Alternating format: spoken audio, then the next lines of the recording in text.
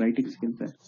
तो I would request you कि आप लोग इसको प्रॉपर प्रैक्टिस करें। मैंने आप लोगों के साथ बुक भी शेयर की थी और आप उस बुक से भी प्रैक्टिस कर सकते हैं। उसमें आंसर्स भी हैं और उसमें क्वेश्चंस भी हैं। ठीक? सो यू शुड प्रैक्टिस मैं आपसे सिर्फ़ यही एक्सपेक्टेशन रखूँगा कि आप उसको प्रॉपरली प्रैक्टिस कीजिएगा। ठीक स्टूडेंट्स इट्स ओके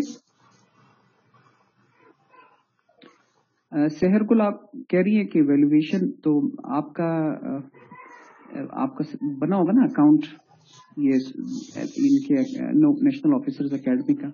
क्या सिस्टम एलएमएस है स्टूडेंट्स का जो सिस्टम है लर्निंग मैनेजमेंट सिस्टम तो उस पर आपका अकाउंट होगा तो आप अपना, जब भी आप रेसी अटेम्प्ट करें तो आप उस पर फॉरवर्ड करें। The teachers will here at National Officers Academy वो इवेलुएट करके आपको फीडबैक दे देंगे, ठीक है?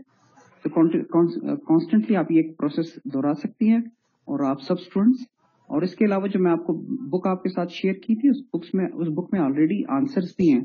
तो आप पहले आंसर ना देखें उसमें पहले अटेम्प्ट करें और वंस यू अटेम्प्टेड फिर आप उस, उसको कंपेयर करें विद आंसर और then you try to see कि आपने क्या गलती की थी या कौन से पॉइंट्स को इंक्लूड या एक्सक्लूड किया था। Okay ji. So just give me a minute I will just share the screen with you in today's class, as I told you earlier, we are going to talk about the reading comprehension. Reading comprehension is also an uh, is an important question in this paper. और this has 20 marks ये भी 20 mark का question है अगर आप सिर्फ ये दो क्वेश्चन देख लें तो ये 20-20 मार्क्स के क्वेश्चन हैं ये बहुत आर इम्पोर्टेंट क्वेश्चन अच्छा जी मेरी आवाज आप लोगों को क्लियर आ रही है ना कोई इश्यू तो नहीं है ओके थैंक यू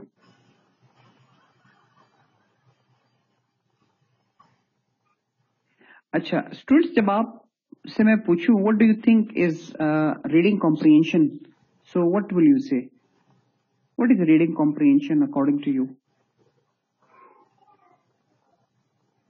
बताएँगे मुझे रीडिंग कॉम्प्रिहेंशन क्या बला है? I just need to see what is your feedback on that. आप क्या समझते हैं कि what actually is reading comprehension read and understand reading and interpreting understanding reading या आपके आंसर में रीड कर रहा हूँ? Comprehending the paragraph understanding reading the passage to grasp the main idea understanding a concept it is a para and solve given questions, reading and understanding the given paragraph. अच्छा जी। Okay okay.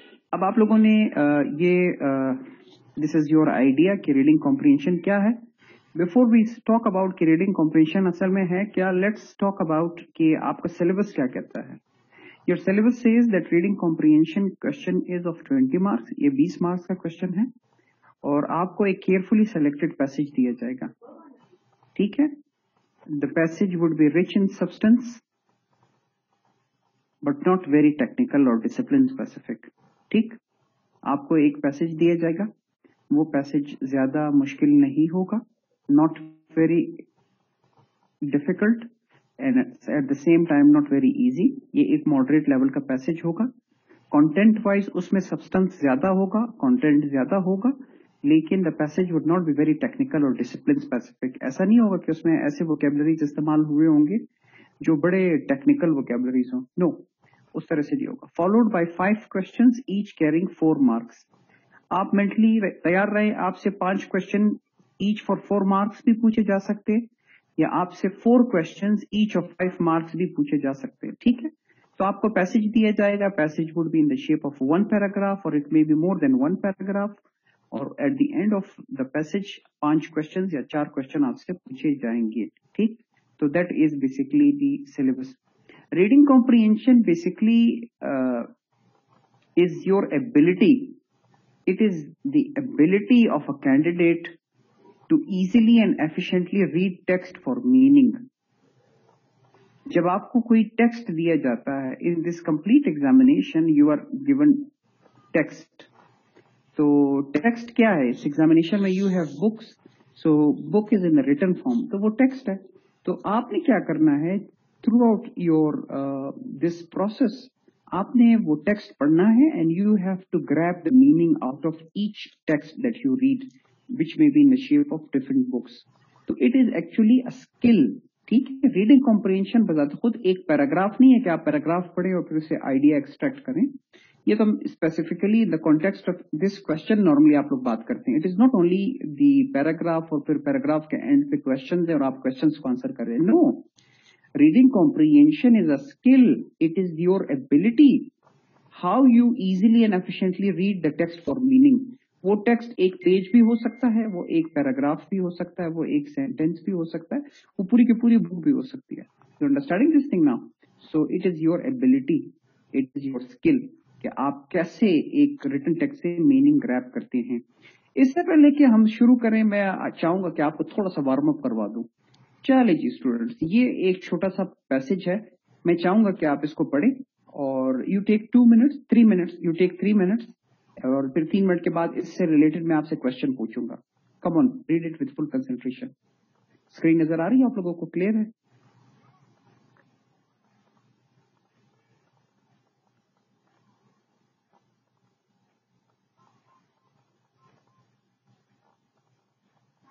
Screen नज़र आ रही है students आप लोगों को?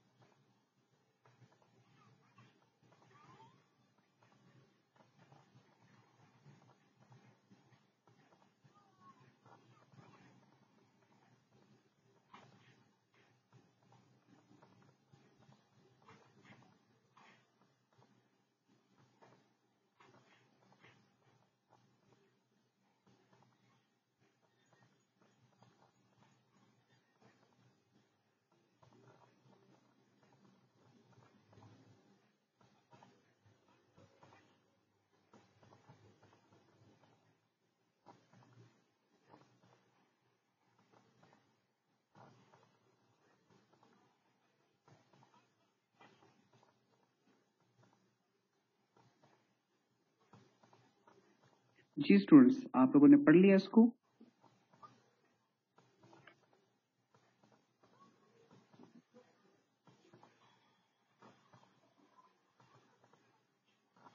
शुरू करें फिर।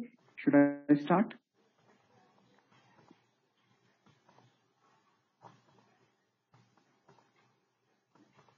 चले। ये एक आपके सामने एक पैसेज है। In the shape of three paragraphs you can say अब हम इससे रिलेटेड कुछ क्वेश्चंस पूछते हैं आपसे। चलिए जी।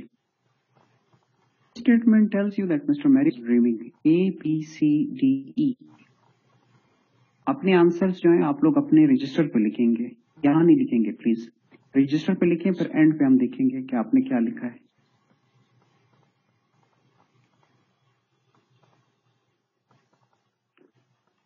आंसर रिटर्न जब आप लिख लें तो फिर मुझे चैट बॉक्स में बताइएगा कि sir done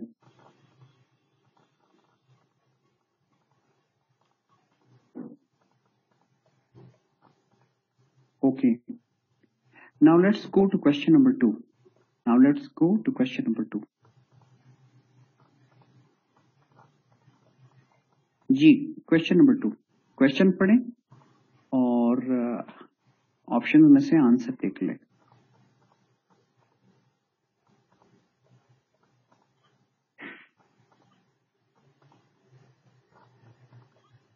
और जब आप अटेम्प्ट कर लें तो फिर चैट बॉक्स में डन लिखें ताकि मुझे चल जाए।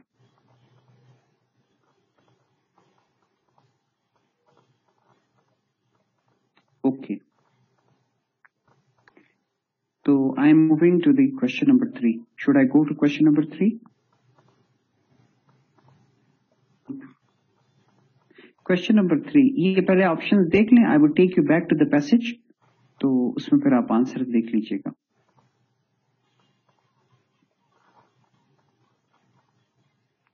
ऑप्शंस चेक कर लिए Now I'm taking you back to the passage.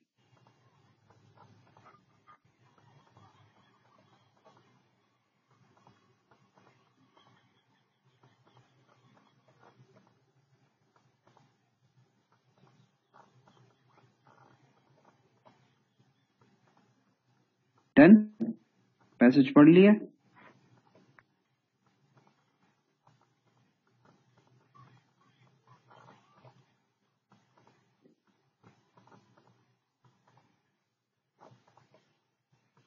जी अब आंसर करें।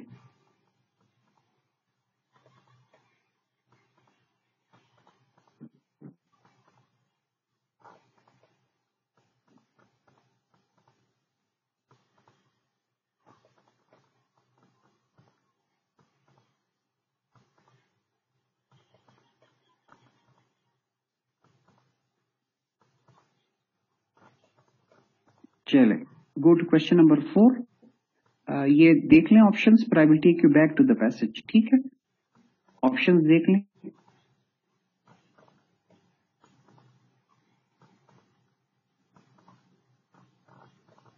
ऑप्शंस देख लिए आप लोगों ने। Should I take you to the passage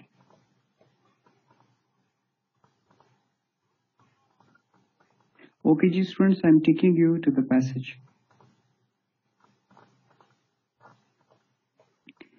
जिनके आंसर दरमियान में मिस हो गए तो वो भी देख लें।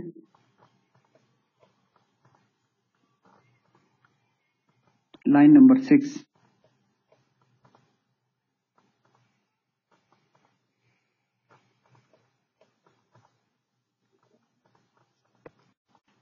डन हो गया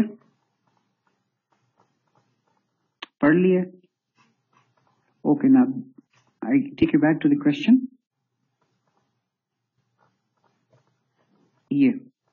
अब आंसर लिखें please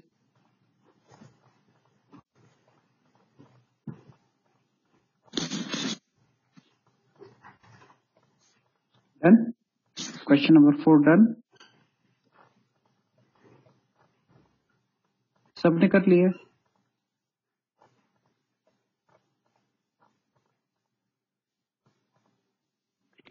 अच्छा चलिए good last question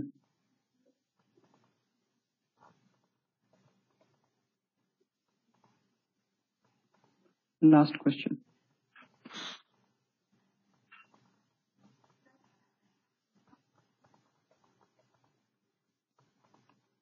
जी स्टूडेंट्स हो गया क्वेश्चन नंबर फाइव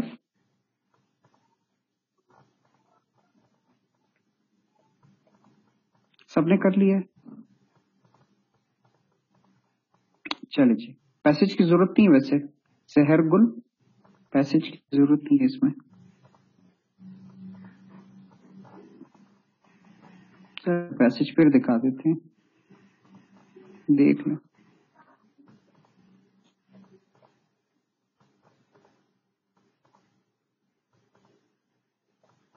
ओके ना? डन?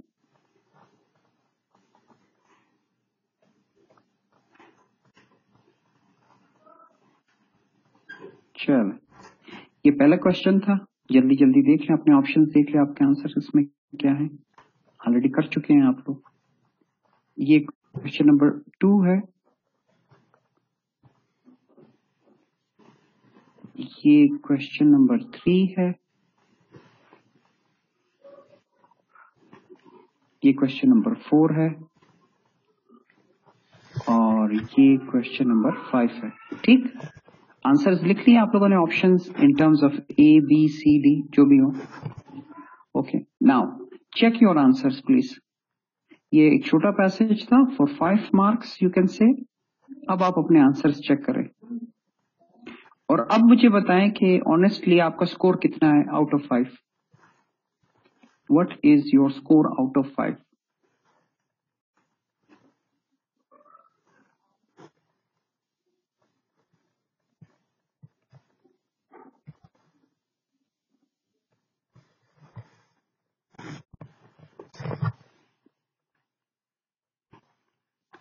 चले, good.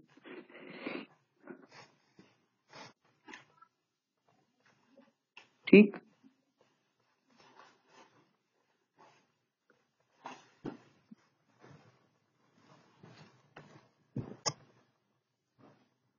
Question number four Azra Anwar question number four ये है।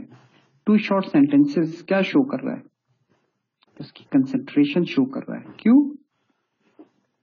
क्यों कंसंट्रेशन शो कर इधर he listened for a while. The cottage seemed very quiet. So this shows his concentration. Not sleepiness Azra concentration show कर रहा loneliness भी नहीं है, गलत। चले जी स्टूडेंट्स ये तो एक छोटा सा वार्म एक्सरसाइज था। इसमें आप लोगों ने शायद फील किया अभी मैं आपको एक्सप्लेन करूँगा so you will understand it students, ये आपके कुछ पेपर है पास्ट पेपर से। ये मैंने कुछ क्वेश्चंस लिए हैं पास्ट पेपर से। तो ये अगर आप इसको थोड़ा सा गौर से पढ़ लें you will understand it what exactly is the meaning of civilisation अच्छा मैं आपसे जवाब नहीं पूछूँगा, बल्कि मैं आपसे ये पूछूँगा कि अगर आप एग्ज़ाम में हो तो इस सवाल का जवाब कैसे ढूंढेंगे? What would be your strategy to find the answer to this question जी मैं आपको अनम्यूट कर रहा हूँ। You can give me the answer through the voice पहले मुझसे परमिशन लें और फिर जवाब दें। How will you find the answer of this question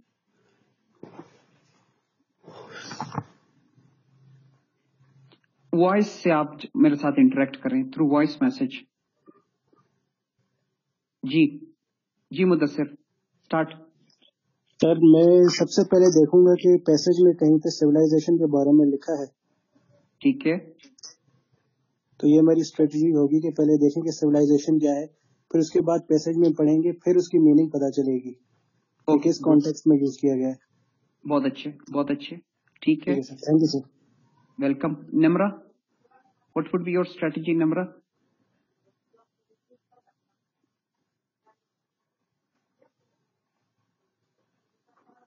Abdul Paracha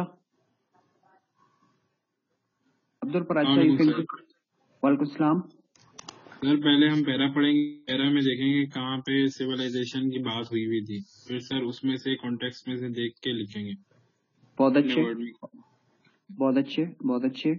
Okay anyone else who wants to give me the answer through voice chat and participate in the class? जी Hareem Fatima. Sir मैं पहले सबसे paragraph को read करूँगी और specific word देखूँगी कि civilisation है कि नहीं है। अगर तो मिल गया तो वेल एंड गुड और अगर नहीं मिला तो उसके कॉन्सेप्ट में जाऊँगी कि सिविलाइजेशन से मिलता जुलता कोई कॉन्सेप्ट है तो फिर वो टैली करूँगी। ठीक है जी वेरी गुड बहुत अच्छे स्टूडेंट्स आप लोगों ने सबने बिल्कुल ठीक बात कही है। And you have this is right strategy मैं आपको बताऊँगा भी ये है क्या। Student this is the first level of comprehension या अंडरस्टैंडिंग इसको हम कहते हैं लेक्सिकल कॉम्प्रिहेंशन लिख लें L E X I C A L lexical comprehension lexical comprehension है क्या? पहले ये देखते हैं। स्टूडेंट्स जब आपसे किसी पैसेज में किसी पर्टिकुलर वर्ड या किसी पर्टिकुलर फ्रेज के बारे में पूछा जाए, जब आपसे एग्ज़ाम में किसी पर्टिकुलर वर्ड या किसी पर्टिकुलर फ्रेज के बारे में पूछा जाए या उसकी मीनिंग या आपसे कहें कि आप इसको एक्सप्लेन करें या आप इसको डिस्क्राइब करें? या what do you understand by this term या दिस फ्रेज तो पहले तो ये समझ लें कि this is called lexical comprehension ये कॉम्प्रिहेंशन का पहला स्टेज है। आर यू फॉलोइंग मी आप लोग मुझे फॉलो कर रहे हैं और समझ आ रही है आपको? मैं क्या आपसे कह रहा हूँ? जी गुड तो लेक्सिकल कॉम्प्रिहेंशन में आपको कोई वोकेबलरी या कोई फ्रेज दिया जाएगा और आपसे पूछा जाएगा कि इसको या तो एक्सप्लेन डिस्क्राइब या इसका मीनिंग बता दें। इसमें दो ऑप्शन हैं। मोस्ट प्रोबेबली उस फ्रेज का मीनिंग क्लियर कट नहीं लिखा होगा। उस वर्ड का जो मीनिंग है, वो क्लियर कट नहीं लिखा होगा। लेकिन ऑफ़ कोर्स चूँकि उस वर्ड के हवाले से रेफरेंस दिया गया that would be part of the passage तो आपने क्या करना है? आपने इन कॉन्टेक्चुअल अंडरस्टैंडिंग उस चीज़ को उस क्वेश्चन को आंसर करना होगा। So the answer to the lexical comprehension is contextual understanding उस पैराग्राफ के कॉन्टेक्स्ट में देखना है कि सिविलाइजेशन क्या है। देन अकॉर्डिंगली आपने उसको डिफाइन करना होगा। तो the answer to the lexical comprehension is contextual understanding उसी बाउंड्री के अंदर रहते हुए आपको आंसर मिल जाएगा, उसका कॉन्टेक्स्ट इसके अंदर आपने रहते हुए करना है। I hope the first level of comprehension is clear to you yes और नो लेक्सिकल कॉम्प्रीहेंशन लेक्सिकल ठीक है जी? Okay okay. ये मैं लिख भी लेता हूँ। लेक्सिकल अच्छा। जी, Kashif you have to answer according to the passage तो इसीलिए हम कहते हैं कॉन्टेक्स्ट ऑफ़ द पैसेज अपनी तरफ़ से कोई एडिशन नहीं करनी। अच्छा दूसरा आपका क्वेश्चन ये हो सकता है कि क्या सर इस किस्म की जब वोकेबलरी या कोई फ्रेज के बारे में पूछा जाए तो क्या वो डिक्शनरी मीनिंग देनी चाहिए? No the paper checker is not expecting dictionary meaning बल्कि the paper checker is testing your understanding कि आप कॉन्टेक्स्ट से कैसे मीनिंग डिराइव करते हैं। You are getting this point तो इसको हम कहते हैं लेक्सिकल कॉम्प्रिहेंशन अच्छा। ख्वाजा इफ्तार, आपको कोई क्वेश्चन है? Mean that check the point of view of examiner नहीं एग्जामिनर तो ऑफकोर्स उसका एक पॉइंट ऑफ़ व्यू है पैसेज में। आपने जस्ट पैसेज में देखना है कि किस कॉन्टेक्स्ट में वो वर्ड इस्तेमाल हुआ है। जस्ट वो देखना है कि उसने किस सेंस में उस वर्ड को इस्तेमाल किया है। वो आप अपने अल्फाज में लिख लें। That is the answer to it clear हो गया? जनरली जनरली स्टूडेंट्स जो कॉन्टेक्चुअल अंडरस्टैंडिंग वाले क्वेश्चन होते हैं उसकी उसमें एग्जामिनेशन में उसकी लेंथ थोड़ी सी छोटी होती कम होती है मैं बाद में भी एक्सप्लेन करूँगा don't worry go to question number two Question number two says, what does the writer actually mean when he says beauty is not an ornament to life? ये CSS 2017 से मैंने ये क्वेश्चन लिया है। मैं आप लोगों को अनम्यूट कर देता हूँ। आप जस्ट परमिशन लें and what would be your strategy to give answer to this question ji permission लें और फिर मुझे बताएँ। How would you find the answer to this question जी फायजा इस तरह का कोई क्वेश्चन आता है एग्ज़ाम में तो हम लोगों को ये करना होता है कि अब ये राइटर हमारा पॉइंट ऑफ़ राइटर ने पहले अपना बता दिया ना कि like beauty is not an ornament to life ठीक है? अब हमें क्या समझ आई है? इस सेंटेंस से वो हम अपने वर्ड्स में लिखेंगे। नहीं समझ तो आपको आई है यानी कि आप अपने पॉइंट ऑफ़ व्यू लिखेंगे या ऑथर का पॉइंट ऑफ़ व्यू लिखेंगे इस आंसर में। हम अपना पॉइंट ऑफ़ व्यू लिखेंगे। नहीं नहीं नहीं नहीं इसमें लिखा हुआ है writers actually mean when he says beauty writer का पॉइंट ऑफ़ व्यू लिखेंगे। जो कॉन्टेक्स्ट में उसने लिखा है जिस तरीके से लिखा ठीक है जी गुड गुड सिदरतुल मुंतहा आप बताएँ what would be your strategy to find the answer to this question sir इसमें तो बहुत क्लियर uh, बताया गया है कि what does the writer actually mean तो फिर his point of view about this sentence yes his point of view आप ढूंढेंगे बताएँगे। ओके जी वेरी गुड और someone else who wants to tell the strategy आप किस तरह से इसका आंसर फाइंड करेंगे? अब्दुल पराचा सर इसमें हम राइटर का देखेंगे राइटर क्या कह रहा है। राइटर के कॉन्टेक्स्ट में क्या है कि जैसे उसने बोला कि beauty is not an ornament to life मतलब खूबसूरती लाइफ का गहना नहीं है। तो देखेंगे क्या कहना चाह रहे हैं ओके ओके। गुल शेर okay right Gul Sher Abbas. Gul sir can you hear me जी जी प्लीज़ सर इसमें uh, जो फ्रेज है हमारे पास ये इन्वर्टेड कॉमर्स में है। तो दैट मीन्स कि ये एग्जैक्टली exactly इसी तरह ही टेक्स्ट के अंदर होगी। तो हम टेक्स्ट में जाके देखेंगे जहाँ पे ये होगी, उसके पीछे थोड़ा सा कंसेप्ट बयान किया गया और उसके फ़ेज़ के एक दो लाइन बाद भी उसने कोई कंसेप्ट बताया होगा। तो इस तरह हम इसको देख लेंगे ये किस तरह से इसका ठीक, बहुत अच्छे बहुत अच्छे good students now good students this is the second level of comprehension इस कॉम्प्रिहेंशन को कहते हैं लिटरल कॉम्प्रिहेंशन ये मैं आपको जस्ट पैसेज ये चैट बॉक्स में लिख के देता हूँ. Literal comprehension L I T E R A L literal comprehension literal comprehension को रेफरेंस कॉम्प्रिहेंशन भी कहते हैं. और द इजिएस्ट कॉम्प्रिहेंशन जो है वो बेसिकली लिटरल या रेफरेंस कॉम्प्रिहेंशन है. Uh, मैं आपको अभी थोड़ा सा एक्सप्लेन करता हूँ, जो लास्ट कैंडिडेट था, उन्होंने भी बड़ा अच्छे तरीके से उसका एक्सप्लेन किया गुलशेर अब्बास ने शायद आई गेस तो ये देखें, ये एक स्पेसिफिक एक्सप्रेशन है, और ये इन्वर्टेड कॉमर्स में भी है। अगर ना भी हो तो तब भी आपको आइडिया हो जाएगा। तो वो कहते हैं what is the writer actually mean when he says beauty is not an ornament to life एक बात तो तय है कि the writer has expressed is opinion about this phrase within the passage ठीक? तो आपने करना क्या है? आपने सिंपली उस फ्रेज को ढूंढना है। मोस्ट प्रोबेबली उसके चांसेस ये हैं कि एग्जैक्ट वर्ड्स में यही फ्रेज फ्रेज लिखा गया होगा पैसेज में। So just find the phrase और फिर उस फ्रेज के आगे और पीछे अगर आपके पास टाइम कम है तो उससे दो तीन चार लाइन पहले पढ़ लीजिएगा, दो तीन लाइन बाद में पढ़ लीजिएगा। यू विल अंडरस्टैंड कि the writer actually mean when he says beauty is not an ornament to life दूसरा सवाल ये है कि क्या सर हम इसमें अपने पॉइंट ऐड करने, अपने पॉइंट्स ऐड करने, नो जी। इसमें आपने कभी भी अपना पॉइंट नहीं ऐड करना, वो आपसे क्लियर कट पूछ रहा है कि राइटर क्या कहना चाह रहा है। उसके क्या मतलब है? तो जस्ट से just write in your own words कि राइटर एक्चुअली क्या कहना चाह रहा है। इसको रेफरेंस कॉम्प्रिहेंशन क्यों कहते हैं? इसको जरा समझिए स्टूडेंट्स रेफरेंस कॉम्प्रिहेंशन इसको इस वजह से भी कहते हैं क्योंकि the reference of this answer is in the passage you just need to find it out you just need to find it out and write it in your own words I hope it is clear to you clear है सबको जी अगर clear है chat box में मुझे बता दें कि sir clear then I move to the next level of comprehension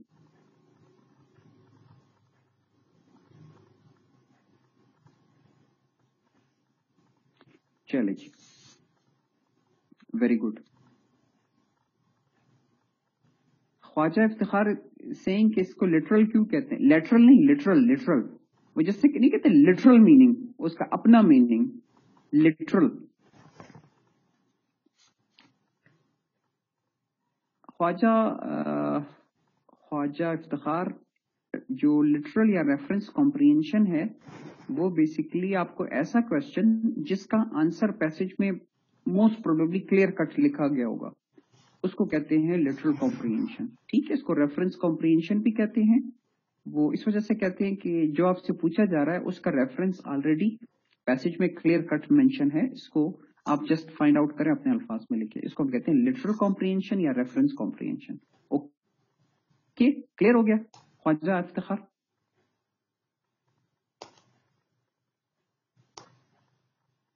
okay Khwaja Sahab.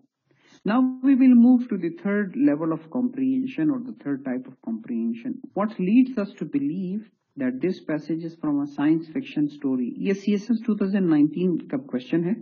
Once again, I'm giving you this option, this opportunity that you can uh, share your strategy. कि आप किस तरह से सवाल का जवाब ढूंढेंगे पैसेज से जी जुनेद जवाब दीजिए जी सलाम सर वालेकुम सलाम सर, इस इस तरह के जो हमें पैसेज मिलेंगे, उसमें जो राइटर होगा, उसने क्लियर कट कुछ कुछ पॉइंट्स डिस्कस किए होंगे, जिसमें वो हमें प्रूफ दे रहा होगा इस चीज़ का कि ये जो पैसेज है, ये एक साइंस फिक्शन से लिया गया है। तो उन पॉइंट्स को हम जो है वो देखते हुए हम ये चीज़ कह सकते होंगे कि ये चीज़ जो हमें ये चीज़ बिलीव कर रही होगी कि ये साइंस फिक्शन का एक स्टोरी से लिया गया है। क्योंकि उसने पॉइंट्स इस तरह के डिस्कस किए होंगे उस पैसेज ठीक है जी, ठीक है जी थैंक यू बहुत अच्छे। Rida now you Rida sir इस पैसेज में ज़रूरी नहीं है कि बहुत क्लियरली बताया हो राइटर ने। अब इस तरह का ऐसा सीन दिया होगा, कोई सिनेरियो या कोई स्टोरी दी होगी जिससे हम ये एक्सट्रैक्ट कर सकते हैं कि ये साइंस फिक्शन स्टोरी का हिस्सा है, और कुछ ऐसे टर्म्स दिए होंगे। तो उधर से हम इसका मीनिंग ले सकते हैं कि ये एक साइंस फिक्शन स्टोरी की बात हो रही है इस पैसेज में। वहाँ से हम इसका मीनिंग ले सकते right good Rabel Rabel yes sir writer ने ज़रूर पैसेज पे कुछ सर्टेनिटीज और पॉसिबिलिटीज दी होंगी जो साइंस फिक्शन से मुतलिक होंगी। और उसी पैसेज में जो सेंटेंसेस हो गए उनसे हम ये अंदाज़ा लगा लेंगे कि ये बिल्कुल साइंस फिक्शन स्टोरी से ही आ, की ही बात कर रहा है। ठीक ठीक। ठीक अच्छी बात है। गुड ख्वाजा इफ्तार आप भी जवाब देना चाह रहे हैं? वेलकम जी ख्वाजा साहब। ख्वाजा इफ्तार जवाब देना चाह रहे हैं?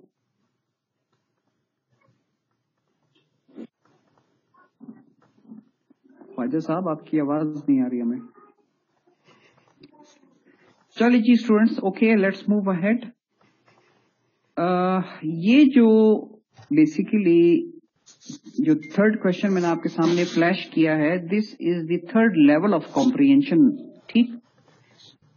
ये थोड़ा सा टेक्निकल है।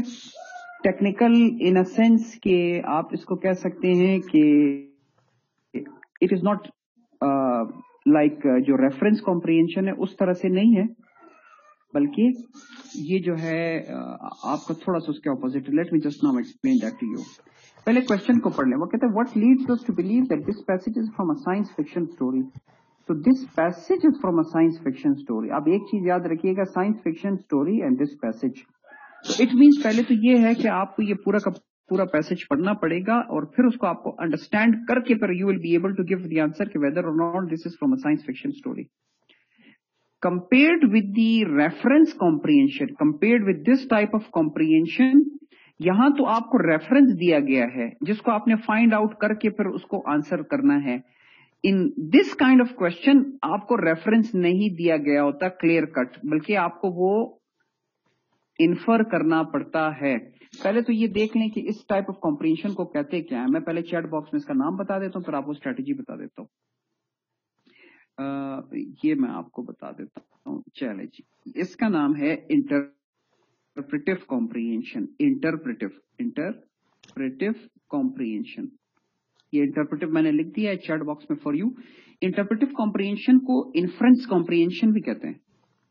इन्फ्रेंस पहला वाला है रेफरेंस और ये दूसरा वाला है इन्फ्रेंस तो ये question number two is reference question number three is inference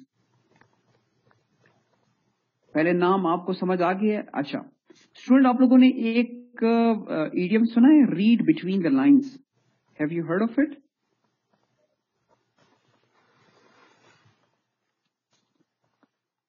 उसका मीनिंग क्या है? रीड बिटवीन द लाइंस का।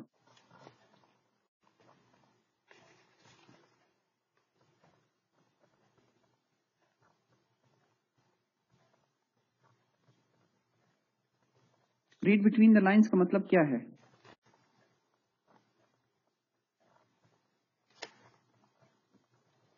रीड बिटवीन द लाइन का मतलब है to find the hidden meaning ठीक है? बाजुकात जो है कुछ चीज़ें क्लियर कट लिखी होती हैं और बाजुकात क्लियरली हर चीज़ नहीं लिखी होती है। So once you find something which is not written in a clear cut way उसको हम कहते हैं रीड बिटवीन द लाइन्स जिसका मतलब है इन्फर करना। समझ आ रही है? सो so, जो इन्फर करते हैं या you read between the lines you basically इसको हम कहते हैं इंटरप्रेटिव कॉम्प्रिहेंशन इस पैसेज में कहीं भी ये नहीं लिखा हुआ कि ये साइंस ना वर्ड साइंस फिक्शन इस्तेमाल हुआ होगा, ना तो वर्ड स्टोरी इस्तेमाल होगी।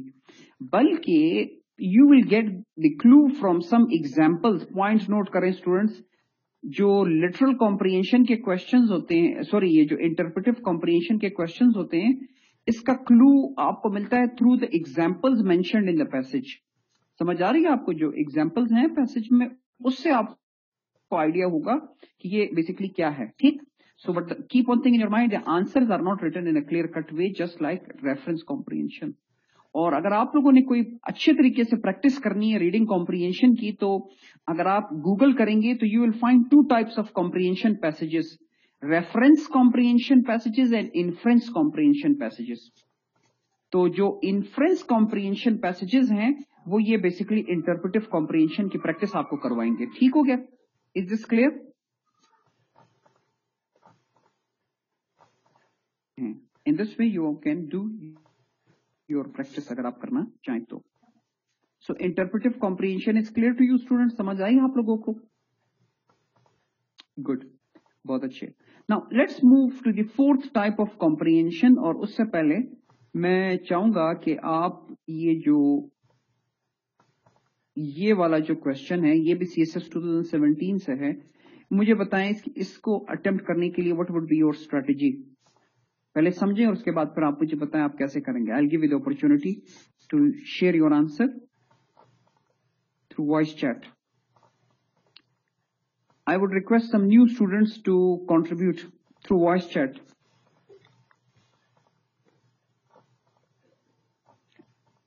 जी मारिया इरफान मारिया इरफान बताएँ। सर इसमें हम अपना पॉइंट ऑफ़ व्यू बताएँगे कि आप इसे एग्री करते हैं या डिसएग्री करते हैं। अगर आप एग्री करती हैं तो फिर क्या करेंगे? इसमें आप एक जस्टिफिकेशन देंगे। आप एग्री करेंगे या डिसएग्री करेंगे तो आप जस्टिफाई करेंगे उसको। ओके ओके गुड आप एग्री करते हैं राइट राइट बहुत अच्छे ओके जी next Mohammad Awais Mohammad Awais hello sir जी सर इसमें अपना ओपिनियन देंगे और उसके साथ रीजन भी देंगे कि क्यों हम इस इस तरह बिलीव करते हैं। ये हमारा ओपिनियन है। Okay okay right Zarish Bhatt Zarish Bhatt sir, हम इसमें अपना ओपिनियन देंगे, फिर उस ओपिनियन को लॉजिक के साथ प्रूव करेंगे। Okay okay. हारून जमान। हारून जमान।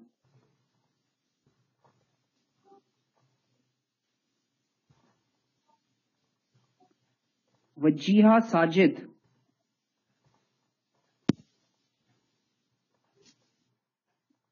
वजीहा साजिद। वालेकुम सर। वालेकुम सलाम। सर इसमें जो पैरा मिलेगा हमें यानी वो आर्ट एंड ब्यूटी पे होगा तो हम अगर उसके साथ एग्री करते हैं तो फिर हमने उसको जस्टिफाई करना है कि हम उसको किस तरह से एग्री करते हैं उसके साथ अगर हम डिसएग्री करते हैं तो फिर हमने उसके व्यू से अपने पॉइंट्स देने होंगे। ठीक हो गया जी स्टूडेंट्स गुड आप लोगों ने सबने बड़ी अच्छी मतलब स्ट्रेटेजी डिफाइन की है अपनी।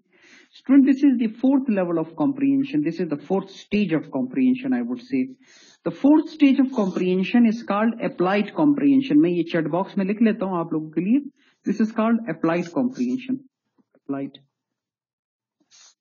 applied means application हो रही होती है अच्छा अब अप्लाइड कॉम्प्रिहेंशन है क्या this is now the question Applied comprehension is any type of comprehension in which you are involved as candidate.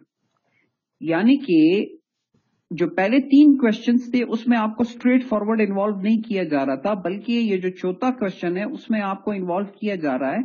और आपसे ये बात पूछी जा रही है, आपको ये चीज़ बल्कि बताई जा रही है कि वेदर यू एग्री और डिसएग्री अच्छा अब आप ये ज़रूर देखेंगे इस पैसेज में कि राइटर ने इस हवाले से कुछ लिखा होगा। Art and beauty affect our practical life and morals हो सकता है उसने लिखा होगा कि वाकई आर्ट एंड ब्यूटी हमारी प्रैक्टिकल लाइफ और मॉरल्स को अफेक्ट करते हैं या हो सकता है उसने नहीं लिखा होगा कि ये अफेक्ट करते हैं वो आपसे ये पूछ रहा है इस क्वेश्चन में आपसे ये चीज़ पूछी जा रही है आप जस्टिफाई करें it means give logical reason whether you agree और disagree So it means now कि if you agree, you will have to give logical reasoning. If you disagree, once again you have to give logical reasoning. और ये वाला जो question है, ये सिर्फ़ इस तरह से नहीं पूछा जा सकता। ये एग्री और डिसएग्री के अलावा भी किसी और एंगल से भी पूछा जा सकता है, जिसकी आज मैंने आपको प्रैक्टिस भी करवानी है। ठीक है जी? So this is the applied comprehension और अप्लाइड कॉम्प्रीहेंशन में कैंडिडेट्स को इन्वॉल्व किया जाता है। वो आपसे पूछ सकता है कि आपका क्या प्लान है फ्यूचर का, इस चीज़ को हैंडल करने के लिए। तो this is also called applied comprehension question इसमें नॉर्मली आप कोशिश कर रहे हैं ब्रॉड जो स्पेक्ट्रम है, जो ब्रॉडली आपने क्वेश्चन को आंसर करना है बाउंड्री आपकी once again I would say for for the safe side the boundary should be within the passage क्योंकि आपने जो मेन पॉइंट पॉइंट लेना है, अगर आपने एग्री भी करना है या डिसएग्री भी करना है, वो तो ऑफकोर्स आपने उसी पैसेज से ही पॉइंट लेके फिर लॉजिकल रीजनिंग देनी है। तो ऑफकोर्स ब्रॉडली आप इसी पैसेज के अंदर रहते हैं। फिर दूसरा ये है कि सर, इसमें क्या हम क्या लिखे? आई एग्री और आई डिसएग्री मैं कहता वो भी पॉसिबल है, लेकिन अगर आप इसको इस तरह से कर लें कि आप इसको अगर मिसाल के तौर पर आप डिसएग्री करते हैं तो आप क्या लिख सकते हैं? एक तरीका है indirect way of saying it art and beauty do not affect our practical life and morals when you say do not affect our practical life and morals it means you disagree और you agree you say art and art and beauty affect our practical life and morals on the multiple account firstly this second this finally this you are getting this point तो ज़रूरी नहीं है कि आप आई लिखें। ज़रूरी नहीं है you write down I I am of the opinion बल्कि आप इसको इनडायरेक्टली इस चीज़ को कह सकते हैं। I hope it is clear to you clear Aiman ने क्वेश्चन किया should we reinforce writer's opinion not necessary आप राइटर के बिल्कुल ऑपोजिट चले जाए, कोई इशू नहीं है। लेकिन ऑफकोर्स जिस चीज़ के ऑपोजिट जाएँगे, वो तो राइटर का पॉइंट ऑफ़ व्यू तो आपके माइंड पे ही होगा ना। उसके फिर कॉन्ट्रास्ट पे आप आर्ग्यूमेंट काउंटर आर्ग्यूमेंट तो आपने उसी आर्ग्यूमेंट के अगेंस्ट ही देने ना। तो you can go against the opinion of the author doesn't matter at all जी जुनेद आपका क्वेश्चन क्या है? पूछें। लिखिए पूछे, जो भी पूछना है।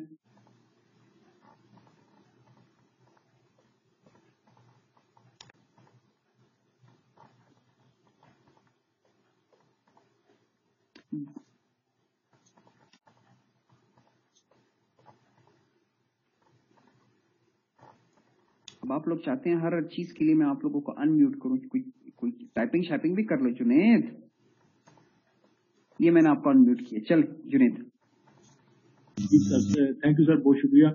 सर इस तरह की ये जो अभी पैसेज हमें मिलेगा इसमें जो एग्री और डिसएग्री का बताएँगे? तो जो जिस तरफ़ सर वो राइटर इंक्लाइंड होगा जिसमें फ़र्क करें वो एग्री कर रहा है उस पैसेज में एक चीज़ को तो अगर हम उसके एग्री होने की तरफ़ जाएँगे तो वो एक पॉजिटिव इम्पैक्ट नहीं देगा हमें एक आंसर में? नहीं ये बेसिकली ये, ये आ, इसको पॉजिटिव इम्पैक्ट और नेगेटिव इम्पैक्ट की तरह से इसको ना सोचें। इसको इस तरह से सोचें कि आपको एक पैसेज दिया गया है और उस पैसेज में आपने उसको समझ के अपनी एप्लीकेशन कैसे की है। अगर ऑथर एग्री कर रहा है और आप भी समझते हैं कि वो वाला पॉइंट बड़ा लॉजिकल है तो आप फिर उसी को बेस बनाते हुए फिर आपने फिर लॉजिकल रीजनिंग देने जस्टिफाई करने के आप क्यों एग्री करते हो। अंडरस्टैंडिंग दिस थिंग नाउ और अगर आप फील करते कि यार जो ऑथर का आर्ग्यूमेंट है वो ज़्यादा सॉलिड नहीं है, बल्कि इसके काउंटर आर्ग्यूमेंट मेरे पास जो है वो थोड़ा सा ज़्यादा सॉलिड है you can go with that but लेकिन in a way that is within the parameters of the see passage ठीक? गुलशेर अब्बास कह रहे हैं कि क्या हम मिक्स स्टांस दें या एक स्टांस लें? नहीं नहीं, एक स्टांस लेना है, वो एग्री और डिसएग्री एग्री और disagree your understanding this thing now तो दोनों चीज़ें एक साथ नहीं करनी गुलशेर अब्बास तो ये स्टूडेंट्स ये फोर लेवल्स ऑफ़ कॉम्प्रिहेंशन है। इसी के अंदर रहते हुए आपके क्वेश्चन आएँगे। अब एक इंपॉर्टेंट चीज़ सुन स्टूडेंट्स 2020 में जो क्वेश्चन आए थे, वो पहले दो कैटेगरी से आए थे, इन दो से आए थे। Literal comprehension and lexical comprehension से ज़्यादा क्वेश्चंस आपके आए थे 2015 में। ठीक? मैं ये फील कर रहा हूँ कि इस साल जो है ये दो वाले आएँगे। इंटरप्रेटिव एंड अप्लाइड कॉम्प्रिहेंशन वाले क्वेश्चन आएँगे 2021 में। सो so, लेकिन आपको बरल आपको फोर टाइप्स ऑफ़ कॉम्प्रिहेंशन मैंने बता दिए हैं। एग्ज़ाम में ये चार लेवल ऑफ़ कॉम्प्रिहेंशन से क्वेश्चन आते हैं। लेक्सिकल लिटरल ये इसके आंसर मवाजनतन छोटे होते हैं। और इंटरप्रेटिव एंड अप्लाइड कॉम्प्रिहेंशन इसके आंसर कंपेरेटिवली बिगर होते हैं। ठीक हो गए जी? सो so, ये मैंने आपको फोर लेवल्स ऑफ़ कॉम्प्रिहेंशन बता दिए हैं। इरफान अली, आप फिर वही क्वेश्चन पूछ रहे हो जिसका आंसर मैंने पहले दिया है। Stance would be given from the passage और from our opinion if you disagree and the disagreement stance is not in the passage of course you will give your opinion at the end of the day justification तो आप ही की है। Agree भी करेंगे तो justification आपकी है। Disagree करेंगे तब भी जस्टिफिकेशन आपकी है। लेकिन जो जो बेस है, जहाँ से आप पॉइंट ले रहे हो, वो ऑफ़ कोर्स आपका पैसेज है। ठीक है जी? पैसेज से बाहर फिर उस तरह से आप नहीं जाएँगे, लेकिन क्योंकि पॉइंट आपने उसी से लेने ठीक हो गए जी क्लियर है?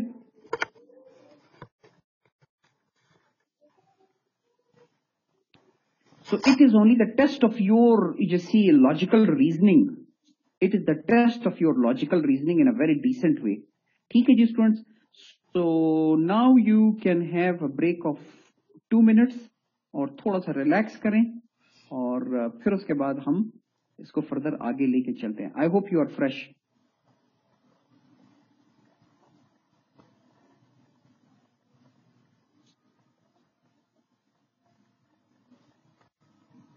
students you have two minutes break right ठीक हो गया जी क्लियर गुड तो अब तक मैंने आपको जस्ट टाइप्स ऑफ़ कॉम्प्रिहेंशन पढ़ा है। I told you that there are four levels of comprehension actually five levels of comprehension है, लेकिन सीएसएस में चार लेवल्स के कॉम्प्रिहेंशन के क्वेश्चंस पूछे जाते हैं।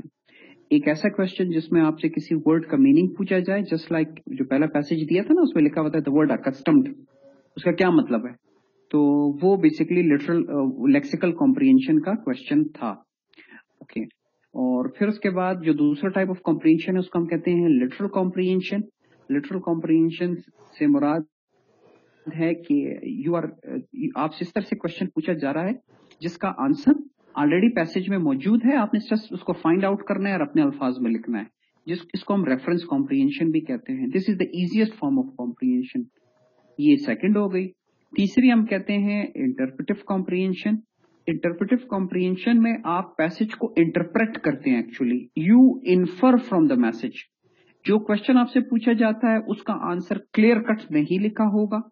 नोट इट डाउन इसी ये इंटरप्रेटिव कॉम्प्रिहेंशन की बात कर रहा हूँ या इंटरप्रेटिव कॉम्प्रिहेंशन क्वेश्चन की बात कर रहा हूँ so the question are not the answer of the question of such comprehension is not written in a clear cut way, just like reference comprehension. You need to read the passage in a proper way and then you have to understand the idea. You have to infer the message or infer the point. So this is also called inference comprehension.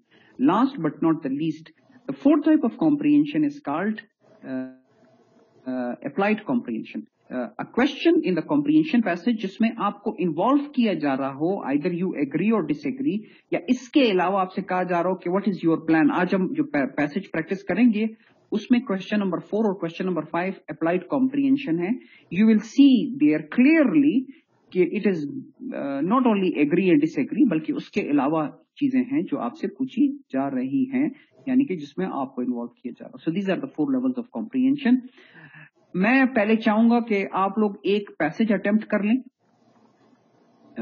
Comprehension uh, का। आपके पास 2018 का paper है। Do you have the paper of 2018 मुझे बताएँ। सबके पास है। अच्छा जिसके पास है, वो अभी चैट बॉक्स में शेयर कर दे पेपर स्टूडेंट्स के साथ, ताकि इन का कोई बहाना ना चल सके। ऑल ऑफ़ यू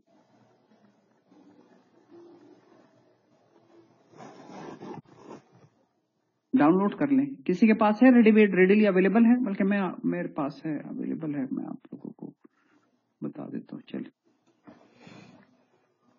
मैं आप लोगों के साथ शेयर कर लेता हूँ।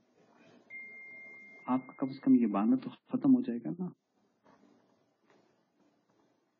आप लोगों के बहाने बड़े ज़्यादा होते हैं। तो आप लोगों के बहाने खत्म करने पड़ेंगे ना? तब जाके चीज़ें ट्रैक पे चलेंगी। सो so, ये चले। ये गुल अब्बास ने वो कर दिया। अकदस इमाम ने भी शेयर कर लिया। चलिए जी स्टूडेंट्स ये आपके साथ उन्होंने शेयर कर लिया है। अब इसको डाउनलोड करें और इसमें जो है पैसेज है।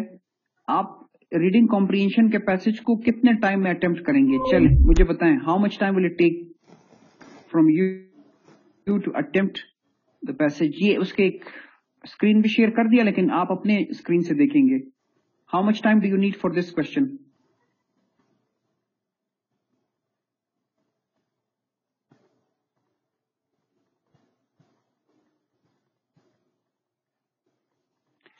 अच्छा जो लोग पंद्रह और बीस मिनट कह रहे हैं, हो सकता है ये पंद्रह बीस मिनट में हो जाए, लेकिन एग्ज़ाम में ये गलती नहीं करनी है आप लोगों ने। जो मिनिमम मिनिमम आपने टाइम इस पे लगाना है मिनिमम तीस मिनट तक लगा ले। ठीक हो गया जी?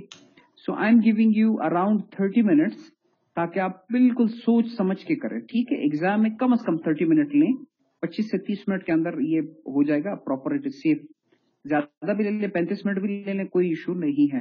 So, स्टूडेंट्स अभी टाइम नोट कर लें चैट बॉक्स में मुझे बताएँ कि व्हाट्स द टाइम और उसके बाद मैं आपको थर्टी मिनट्स दूँगा। What's the time by now सात बजकर तीन मिनट सो आप लोगों ने सात बजकर तैंतीस मिनट पे इस पैसेज को अटेम्प्ट करना है। और क्वेश्चन ऑफ़ कोर्स आप मरियम ये शेयर हो गए ना? स्टूडेंट ने शेयर कर लिया है। मैं भी आप लोगों के साथ फिर भी शेयर कर लेता हूँ। ये स्टूडेंट ने शेयर कर लिया ना, और आपको क्या चाहिए? स्टूडेंट्स आप एक दफ़ा दोबारा शेयर कर लें, इनके साथ दोबारा शेयर कर लें।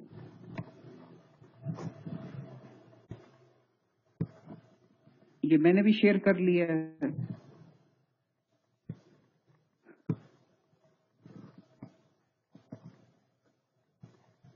चलिए जी students I am giving you thirty minutes your time starts now और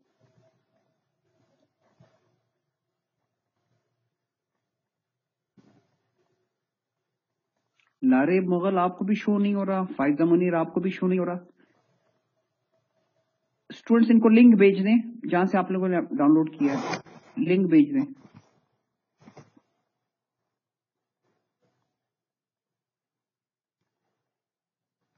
हाँ जो लोग मोबाइल इस्तेमाल कर रहे हैं तो चैट बॉक्स में शायद वो रिफ्लेक्ट ना करे। तो आप लोग जिनके पास मोबाइल है, वो ऐसा करें, नेट से इसको डाउनलोड कर लें। नेट से डाउनलोड कर लें और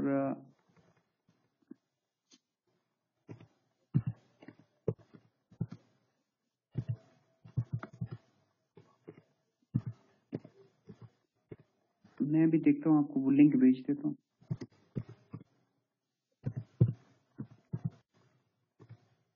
मैं आप लोगों को लिंक भेज देता हूँ। जस्ट मिनट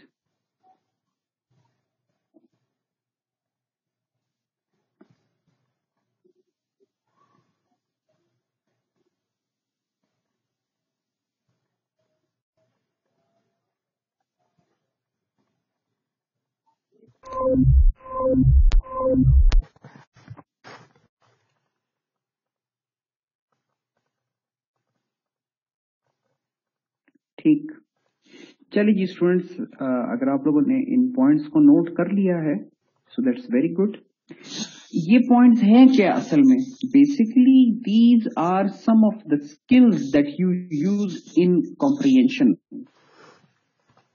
जो सारे आइटम्स मैंने लिखे हैं ना these are all you see skills in language actually जब आप रीडिंग कॉम्प्रिहेंशन के क्वेश्चन को, या वैसे ही कॉम्प्रिहेंशन में ये वाले स्किल्स इस्तेमाल होते हैं, जिसमें से हम कहते हैं we use the skill of reviewing skimming scanning identifying the structure of the passage identifying reference paraphrasing and lifting ये सात इंपॉर्टेंट चीज़ें हैं जो मैं आपको बताऊँगा कि आपने इसको किस तरह से करना है। The first thing is previewing previewing से पहले मैं आपसे क्वेश्चन पूछूँगा, मैं चाहूँगा कि जब आपके सामने पैसेज आता है या अभी जो आपके सामने मैंने पैसेज आपको दिया था तो आप लोगों ने पहले क्वेश्चंस पढ़े थे या पैसेज अटेम्प्ट किया था? आपका क्या तरीकाकार था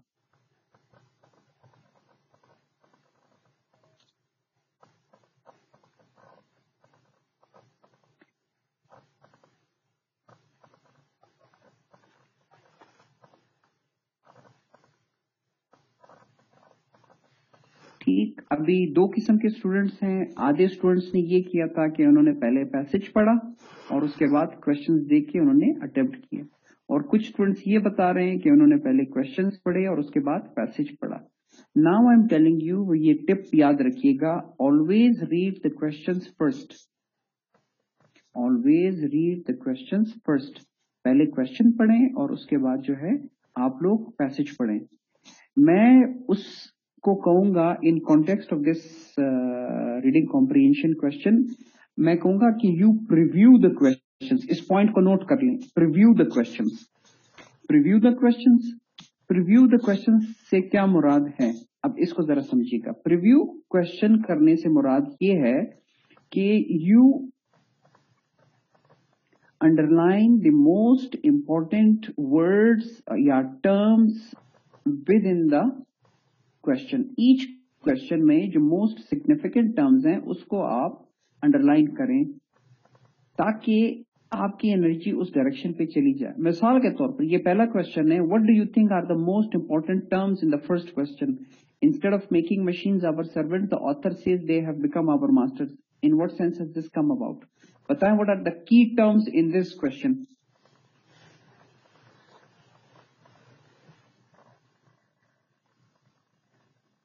okay बताते रहिएगा।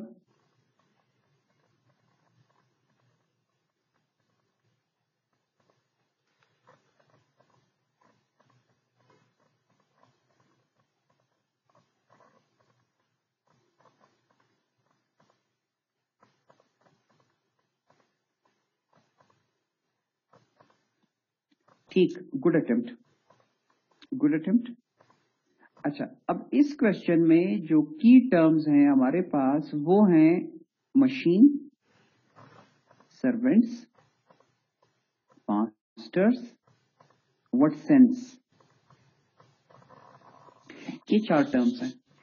ये हमने क्या किया है इसको पता है? इसको हमने जब अंडरलाइन किया या हमने इसको हाईलाइट किया, इसका मतलब ये है कि we are previewing this we are previewing this question in order to focus our energy in a specific direction.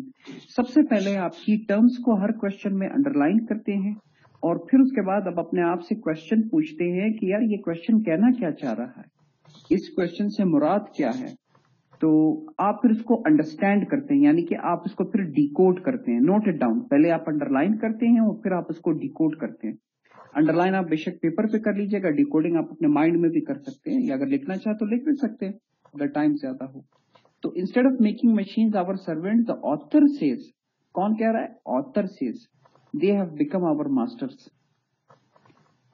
in what sense has this come about what sense का मतलब हाउ दिस हैज़ हैपेंड तो ये अब आपके पास question आ गया कि इस सवाल का जवाब, इस सवाल के जवाब में आपने क्या ढूंढना है? इस सवाल के जवाब में आपने ये ढूंढना है कि how we became the servants of the machines instead of becoming its master.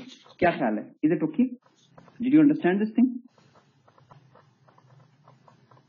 तो इस प्रैक्टिस को हम कहते हैं प्रिव्यूइंग ना सिर्फ़ आप क्वेश्चन पढ़ते हैं, बल्कि आप क्वेश्चन को प्रिव्यू करते हैं। यानी कि you underline the key terminologies और फिर सेकंड फ़ेज़ में क्वेश्चन को डिकोड करते हैं।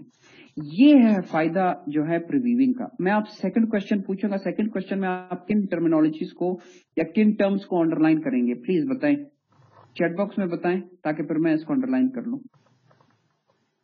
सेकंड क्वेश्चन में आपके सामने है स्क्रीन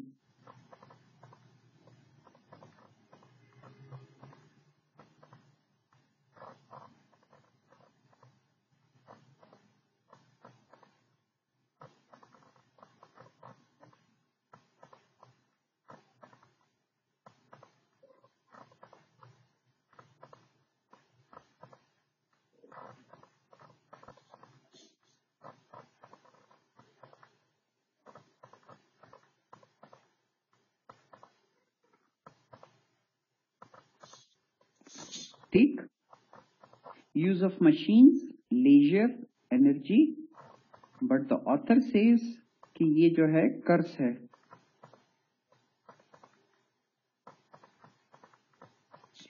ठीक गुड अब ये है कि आपने इसको अंडरलाइन किया।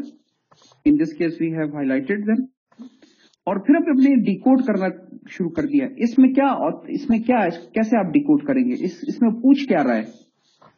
ये क्या कह रहा है? ये क्वेश्चन क्या कह रहा है? बताएँ जरा मुझे प्लीज़ कोई मुझे बताएगा? ये मैंने चैट बॉक्स भी ये वॉइस मैसेज भी ओपन कर दिया है। कोई मुझे बताएगा इस क्वेश्चन में वो पूछ क्या रहा है?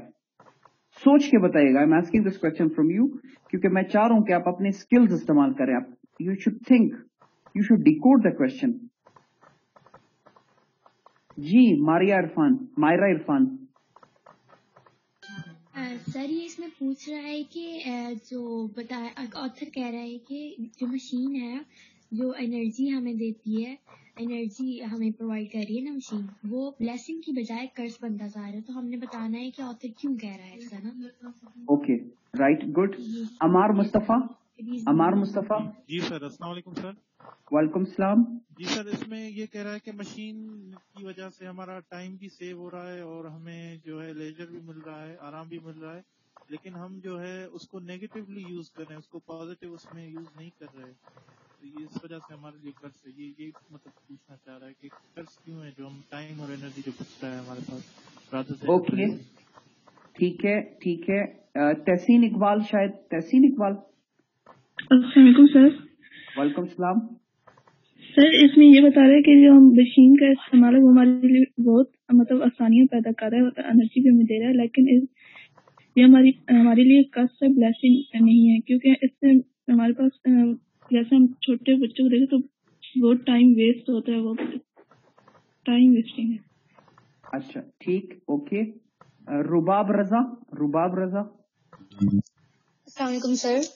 वालेकुम सलाम सर, इस क्वेश्चन में वो ये, उसने एक बात की है कि जो मशीन का यूज़ है वो हमारे लिए लेयर एनर्जी हमें प्रोवाइड कर रहा है। मीन हमारे लिए आरामदा है और हमें खुशी दे रहा है। बट इन फ्यूचर अगर हम इसी तरह से यूज़ करते रहे इन मशीन्स का तो एक स्टेज ऐसी आएगी कि ये ब्लेसिंग कर्स उसने एक वर्ड यूज़ किया। कर्स मतलब हमारा लालच बढ़ता जा रहा है।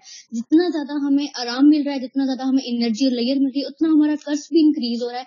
हम डे बाय डे जो है ना मशीन को हम मोर एंड मोर अपने लेयर की तरफ़ जा रहे हैं। हम चाहते हैं कि हमें ज़्यादा से ज़्यादा आराम मिले, ज़्यादा से ज़्यादा सुकून। तो ये इन फ्यूचर हमारे लिए बहुत ज़्यादा लॉस का बाइस बनेगा ब्लेसिंग नहीं होगी हमारे लिए ये।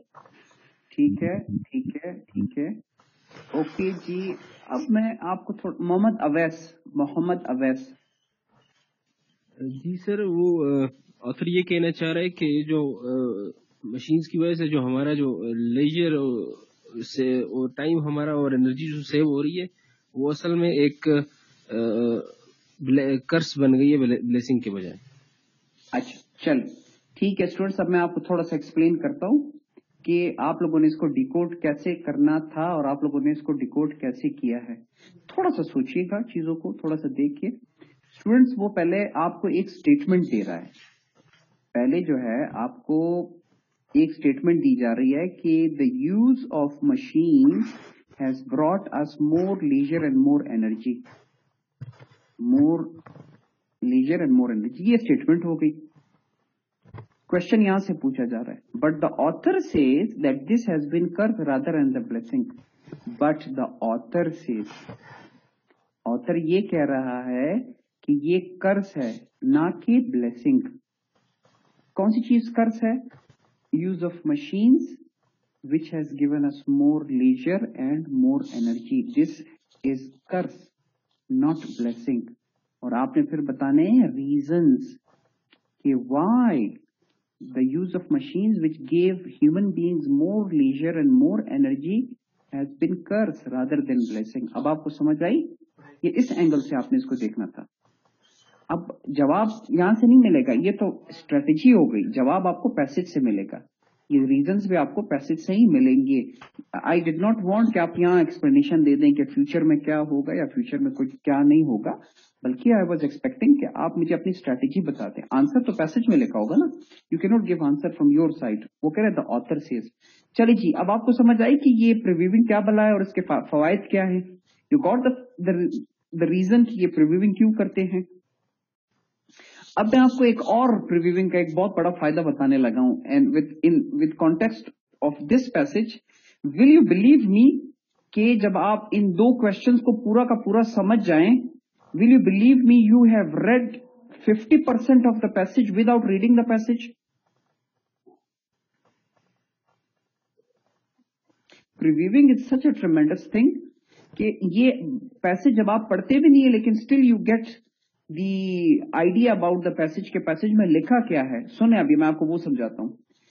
पहला क्वेश्चन देखिए। पहले क्वेश्चन में क्या लिखा हुआ है? Instead of making machine our servant the author says they have become our masters तो इस पैसेज में ये बात होगी कि machine have become the masters of the human beings author ये बात कहेगा।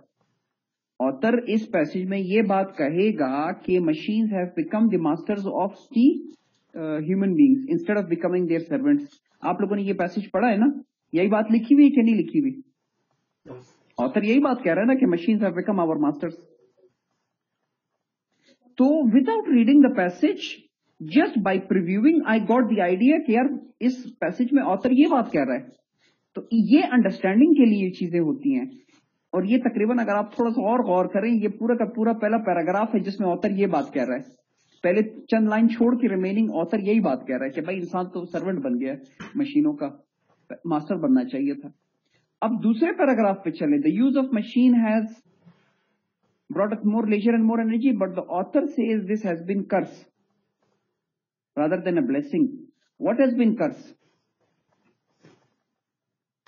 use of तो the second point that this passage will have author ये प्रूफ करेगा ऑथर ये बात कहेगा कि the time and energy given by the machine has been curse rather than a blessing क्या ये बात लिखी हुई है? ऑथर ने ये पैसेज में कहा है कि दिस हैज़ बीन कर्स आपने तो पढ़ लिया ना passage and once again if I talk about second paragraph में यही बात हो रही है प्राइमरली ये तो कर्स है, वो बार बार मशीन आ रहा है, वो टाइम ले रहे हैं और एनर्जी और लेजर मिल रहा है वो फिर और मशीन बना रहा है वो और आ रही है फिर और एडवांस मशीन बना रहा है। So man has been involve in this cycle it is a curse rather than a blessing. You're understanding this point? So this is called previewing. ये मैं आपका मैंने कहा थोड़ा सा आपको प्रैक्टिस भी करवा hope you got it yes और नो क्लियर है? अब आपको समझ आई कि नेक्स्ट टाइम जब आपने क्वेश्चन पढ़ने वो आपने क्वेश्चन पढ़ने नहीं है बल्कि क्वेश्चन प्रिव्यू करने हैं। आपने क्वेश्चंस पढ़ने नहीं क्वेश्चन प्रिव्यू करने हैं. This is the most important thing good ये हो गई पहली बात. This was the first skill the first tip that I wanted to give you let's go for the second skill the second skill is called skimming. What do you understand from the term skimming? What do you understand from the term skimming?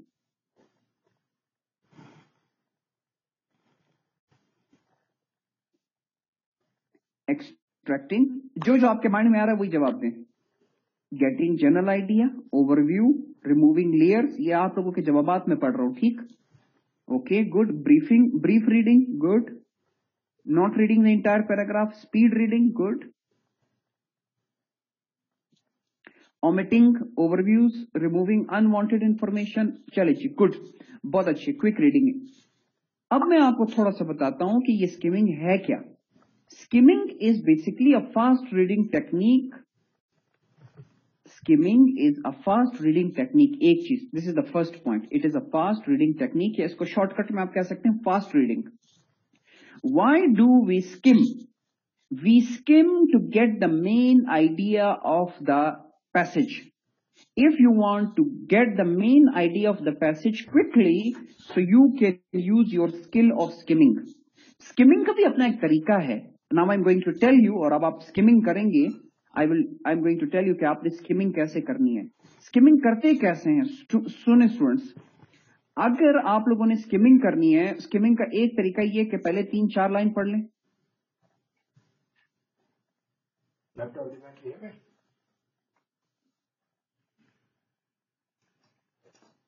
Students पहले paragraph में just आप अपने ये वाले जो कुछ lines है ये पढ़े मैं आपसे फिर क्वेश्चन पूछूँगा।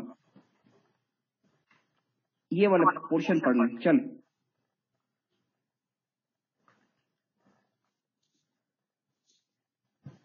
Read and understand just first paragraph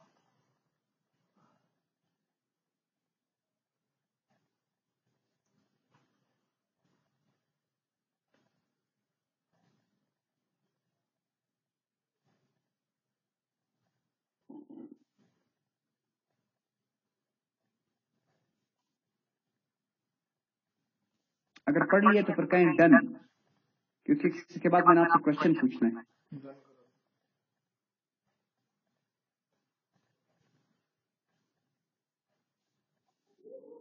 चलिए, जी good good who is going to give me the answer of my question पहले बताएँ, फिर क्वेश्चन पूछूँगा। मैं चाहूँगा न्यू स्टूडेंट्स मुझे बताएँ। New students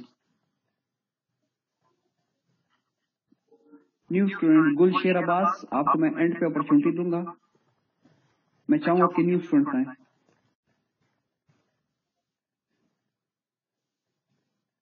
तहसीन इकबाल तहसीन इकबाल न्यू स्टूडेंट जी सर। जी तहसीन जी सर। जी ये बताएँ कि ये जो पहले मैंने जो पहले चार लाइन अंडरलाइन किए हैं बल्कि three lines and half to become is master in lines को पढ़ के आपको व्हाट डू यू अंडरस्टैंड कि फ़र्स्ट पैराग्राफ किस चीज़ के बारे में है? सर साइंस के बारे में इंफॉर्मेशन दे रहा है कि साइंस को हम किस तरह यूज़ करते हैं। अच्छा साइंस को हम किस तरह से यूज़ करते हैं? ओके ठीक है जी सलाउद्दीन मुगल सलाउद्दीन मुगल आप जवाब दें। What do you understand when you read the first four lines अस्सलाम वालेकुम सर। वालेकुम सलाम। सर, ये पहली फोर लाइंस में ये बात कर रहा है कि इंसान के पास, साइंस ने इंसान को बहुत ज़्यादा नॉलेज दिया है, लेकिन इंसान ने उस नॉलेज का सही तरह से इस्तेमाल नहीं किया। फिर उसकी एग्ज़ाम्पल दे रहा है कि जैसे मशीन से इंसान के पास तो मशीन ने इंसान को बहुत ज़्यादा सर्विसेज़ दी हैं, लेकिन इंसान इंस्टेड के मशीन को अपनी सर्वेंट बनाता, खुद उनका सर्वेंट बन गया।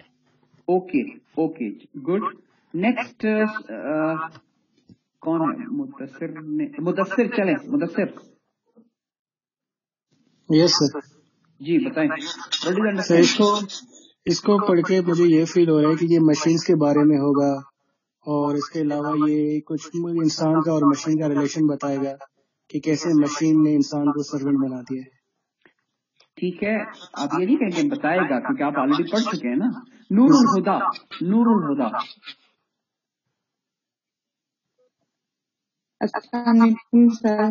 वालेकुम सलाम सर मेरी आवाज़ आ रही है? जी आपकी सर आवाज़ इसमें साइंस की इन्वेंशन के बारे में बताया सर इसमें साइंस की इन्वेंशन के बारे में बताया गया जिनमें से एक साइंस की आज़ाद वो मशीन है। अच्छा। तो इंसान चाहे इसके बजाय कि मशीन को अपना सर्वेंट बना दे वो खुद उसका सर्वेंट बन गया है मशीन उनका मास्टर बन गई है। ठीक ठीक। रिजवान मोहम्मद रिजवान के बारे में इसमें मशीन का और उसके Okay, ji. Okay, good. Thank you. Mohammad Rizwan. Rizwan.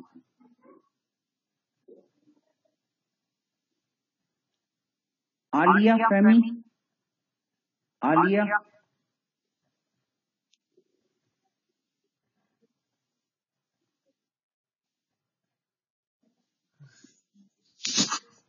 Sir, इसमें डिपेंडेंसी बताई गई है इंसान की मशीन के ऊपर।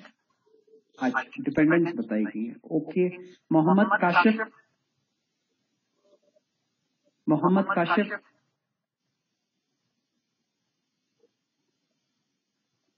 काशिफ ने, Kashif is not there Nida Nawaz? Nida? Sir इसमें जो है बताया गया है कि साइंस ने जो है इंसानों को सुपर ह्यूमन पावर दी है, लेकिन फिर भी वो जो है इसका इस्तेमाल करने का तरीका सही से नहीं जानते मशीन्स का। मशीन्स को बेसिकली इस तरह से दिया गया है कि वो लोगों की हेल्प करें, बजाय इसके कि वो इस तरह करें, उल्टा जो है इंसान जो है मशीन्स के सर्वेंट बन रहे हैं। ठीक है गुड ओके जी स्टूडेंट अब मैं आपको थोड़ा सा समझाता हूँ कि रीडिंग बेसिकली करते कैसे हैं। देखें थोड़ा सा समझने की कोशिश कर। रहे हैं it is very simple it is not that difficult ये देखें पहले पहले ही लाइन में उसने क्या लिख दिया आपको? क्या बताया है? जस्ट अंडरस्टैंड इट मैं आपको बताता हूँ। कहते हैं the third great defect of our civilization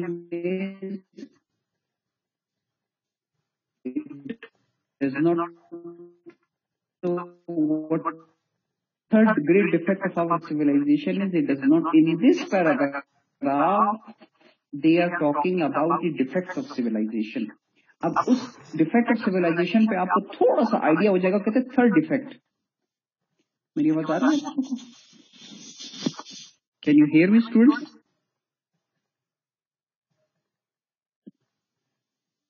अच्छा ठीक है if you can hear me that's good तो इन दिस पैराग्राफ ये बेसिकली एक ऐसे से लिया गया है। ये एक ऐसे से लिया गया है। उस ऐसे में डिफेक्ट्स ऑफ़ सिविलाइजेशन पे बात हो रही थी। तो दो डिफेक्ट दो जो सिविलाइजेशन के डिफेक्ट थे, वो पहले बात हो गई है ना तीसरे डिफेक्ट पे बात हो रही है। You are understanding this point ये आप लोगों ने पिक कर लिया ये वाला point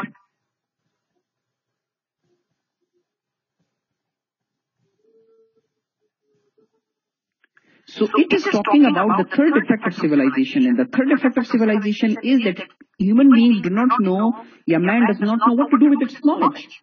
Man does not know what to do with its knowledge. This is the third effect of civilization. और उसकी एग्जाम्पल क्या है We do not know to manage our machines. Due to mismanagement of machines, इंसान servant बन गया और machine masters बन गए अब समझ आई आप लोगों को। तो इन तीन चार लाइनों में वो थर्ड डिफेक्ट ऑफ़ सिविलाइजेशन बता रहा है और सिविलाइजेशन की एक्सप्लेनेशन में वो कह रहा है कि इंसान जो है मशीन को मैनेज नहीं कर पा रहा, ठीक। जिसकी वजह से इंसान सर्वेंट बन गया और मशीन जो है वो मास्टर बन गया और वो उस पर डिपेंडेंट हो गया। I hope you got this point is this okay ये क्लियर हो गया आप लोगों को? दिस इज़ कार्ड स्किमिंग इसको स्किमिंग कहते हैं। और ये complete first paragraph is about that this is called skimming चले अब एक और स्कीमिंग करवाता हूँ आप लोगों को। अब मुझे बताइएगा कि ये जो सेकंड पैराग्राफ है ये चल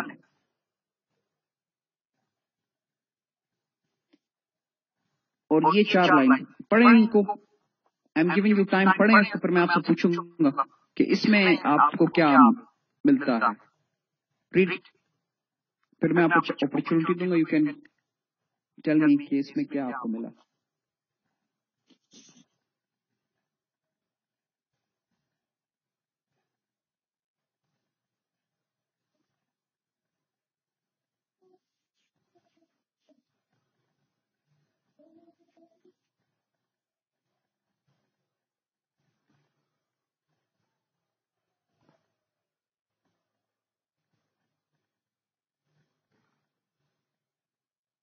पढ़ लिया है और समझ भी लिया है। कौन जवाब देगा मेरे क्वेश्चन का? कौन जवाब देगा मेरे क्वेश्चन का?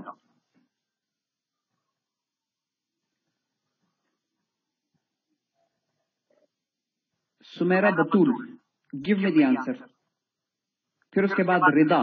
First Sumera and then Rida. Yes sir जी बताएँ। यस सर बताएँ कि ये जो पहले चार लाइन है उसमें क्या लिखा हुआ है? क्या what do you understand by that sir इसमें राइटर ये बता रहा है कि मशीन्स ने हमारी लाइफ इजी की और हमारे लिए टाइम और एनर्जी बचाए। लेकिन हम उस टाइम और एनर्जी से क्या कर? रहे हैं uh, हम उस टाइम और एनर्जी को बजाय मतलब थोड़ा बहुत यूज़ कर रहे हैं अपने लिए मतलब जैसे उसको यूज़ करना चाहिए। बट हम जितना ज़्यादा जो टाइम हमारा बच रहा है उसको हम मजीद मशीन्स बनाने में यूटिलाइज कर रहे हैं ताकि हमें मजीद आसानी मिले और इस तरह ये साइकिल कंटिन्यू हो रहा है और हम मजीद मशीन बना रहे हैं और मजीद टाइम मिलता है फिर मशीन बना रहे हैं। इस तरह से। ओके मुकद्दस अफीज मुकद्दस अफीज आप बताएँ what do you understand by the first four lines में एक्चुअली कंफ्यूजन क्या आ रहा है ऊपर जो फ़र्स्ट पैराग्राफ में जो कुछ भी बताया कि जो कुछ भी हो रहा है, उसकी मशीन जितनी भी बन रही है, उसके बावजूद भी कितनी एनर्जी बचती है उसको हम किसी और के साथ यूटिलाइज नहीं करें कि हम अपनी पर्सनैलिटी को भूल करें सिविलाइजेशन की तरफ़ जाए, बल्कि हम उसी काम की तरफ़ मजीद जा रहे हैं ताकि वो मजीद हमें आसानी मिले, लेकिन उसका भी कोई आउटकम नहीं है। अच्छा ठीक ठीक ठीक। ओके एंड देन कोई न्यू स्टूडेंट जिसने अब तक ला, लारेबली भी कर लिया है कौन न्यू स्टूडेंट कोई भी न्यू स्टूडेंट वो अपना माइक ओपन करके मुझसे मुझे बताए जवाब। न्यू स्टूडेंट जी जवेरिया। जवेरिया न्यू स्टूडेंट वालेकुम सर। वालेकुम सलाम।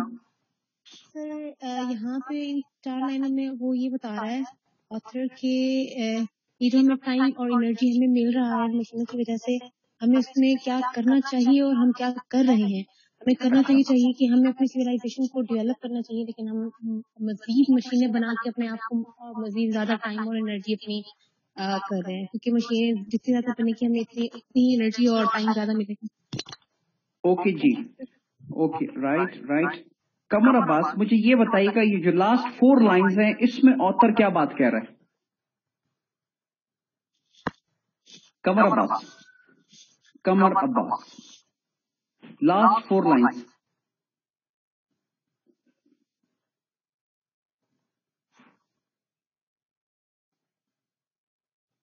Qamar Abbas मेरी आवाज़ आ रही है? नहीं आ रही? सर इसमें वो बता रहा है कि ना कि हमें मशीन है जो मशीन बन, बनाने के बजाय हम ब्यूटीफुल थिंग आर्ट आर्ट ज़्यादा तवज्जो देनी चाहिए। और जो मशीन को ना पॉवर्टी रिड्यूस करने के लिए भी यूज़ करना चाहिए। अच्छा मशीन को पॉवर्टी रिड्यूस करने के लिए चाहिए? यस सर अच्छा चलो ठीक है। सहर गुल सहर गुल आप बताएँ what do you understand from the last four lines yes sir इसमें ये ये बात कर रहा है कि मशीन से हम हमारे पास जैसे वो काम कर लेती हैं तो एनर्जी भी बच जाती है हमारी और टाइम भी हमारे पास बच जाता है। तो उस टाइम को अगर हम लोग सिविलाइज होना चाहते हैं और ट्रू सेंस में सिविलाइज होना चाहते हैं तो हम लोग ये कर सकते हैं कि ये जो कॉल्स वगैरह हो रहे हैं या झगड़े वगैरह नेशंस के दरमियान में वो खत्म कर लें रिड्यूस कर लें पॉवर्टी को। यानी जो टाइम हमारे पास बच रहे हम उसको इस चीज़ में यूटिलाइज कर लें। ठीक हो गया ठीक हो गया। गुड बुशरा शायद?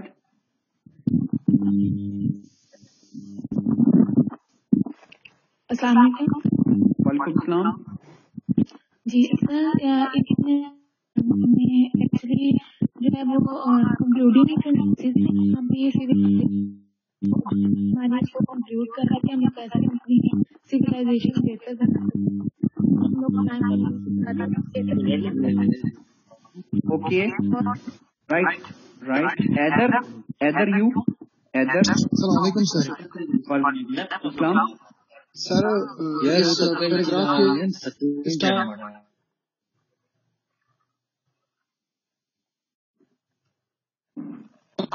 सलामकुम सर जी either.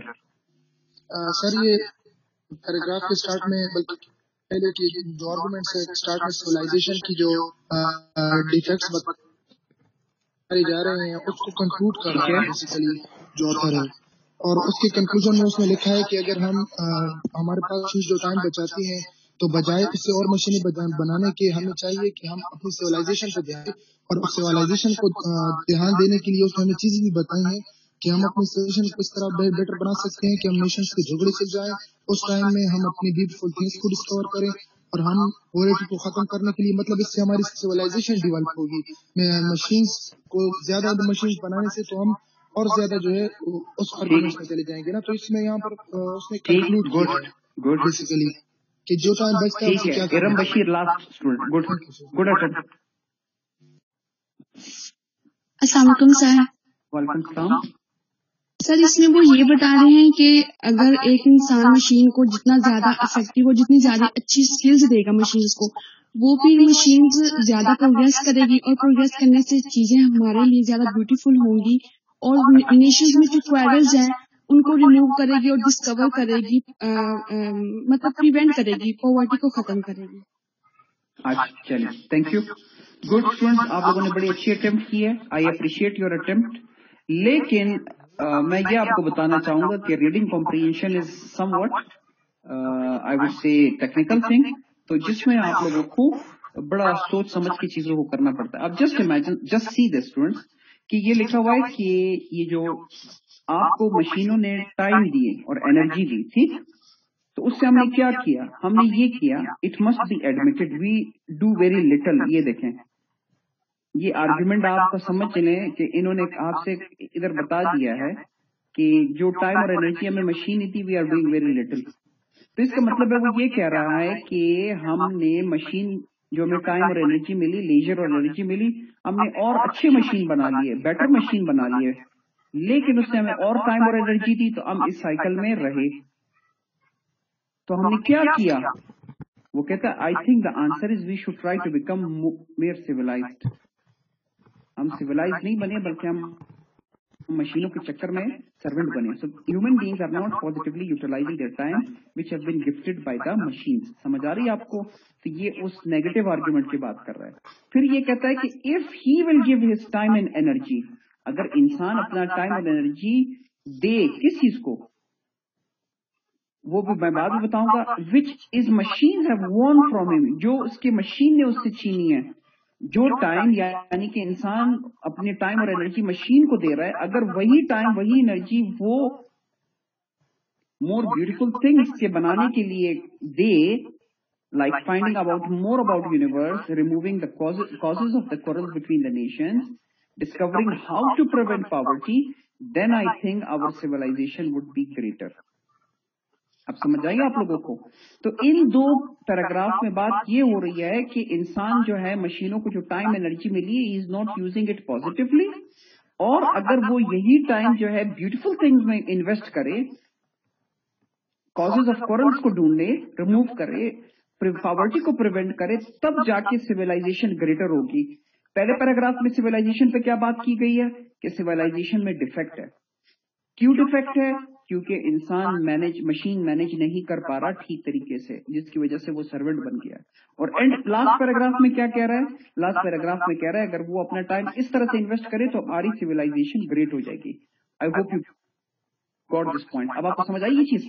You got this point और नॉट ये इस तरह की चीज़ें आप ग्रैप करते हैं। सो so, अगर मैं आपसे भी एक और क्वेश्चन पूछूँ first paragraph is talking about what what kind of paragraph is it what type of paragraph is it पहले पैराग्राफ में किस चीज़ पे बात हो रही? क्या बात हो रही जनरली सिविलाइजेशन के किस एस्पेक्ट पे बात हो रही है? सिविलाइजेशन की किस एस्पेक्ट पे बात हो रही है? Defect so the first paragraph is talking about the problems yes और no So the first paragraph is the problem paragraph. And what about the second paragraph? Second paragraph पे क्या बात हो रही है?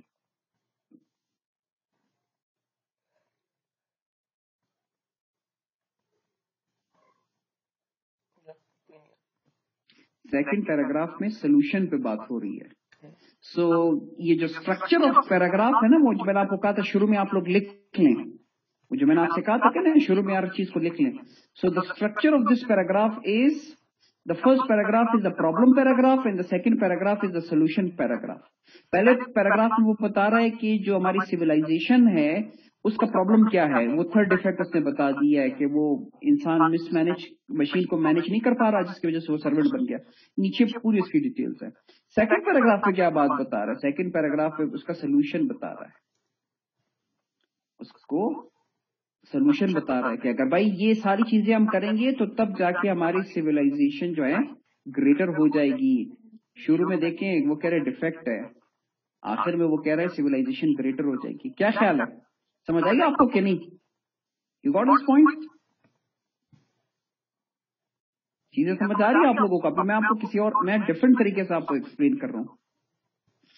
तो आप लोगों ने अपने जो जो देखने का तरीका है रीडिंग करने का तरीका है, उसको इस तरह से देखना है अपनी चीज़ों को। आप तो वैसे ही चीज़ों को देखते हैं, लेकिन आपने समझना होगा। You will have to understand things तब जाके आपके लिए चीज़ें ओपन अप होगी। Things will open up in front of you you are getting this point तो इस तरीके से आप करें। स्किमिंग करें स्कैनिंग करें प्रिव्यूइंग करें। ख्वाजा इफ्तार सिंह के सर थोड़ा एक्सप्लेन कर दे। मैं एक्सप्लेन करूँ देखें, ख्वाजा एंड अदर स्टूडेंट्स अगर आप पहला पैराग्राफ पढ़ो वो कहता है कि the third great defect of civilization is that it does not know what to do with its knowledge इसका मतलब है सिविलाइजेशन में डिफेक्ट है। क्या डिफेक्ट है? Science is given us power fit for God yet we use them like small children science ने हमें power दी क्या जो है वो गॉडली पावर हमारे पास है हम बच्चों की तरह इस्तेमाल कर रहे हैं।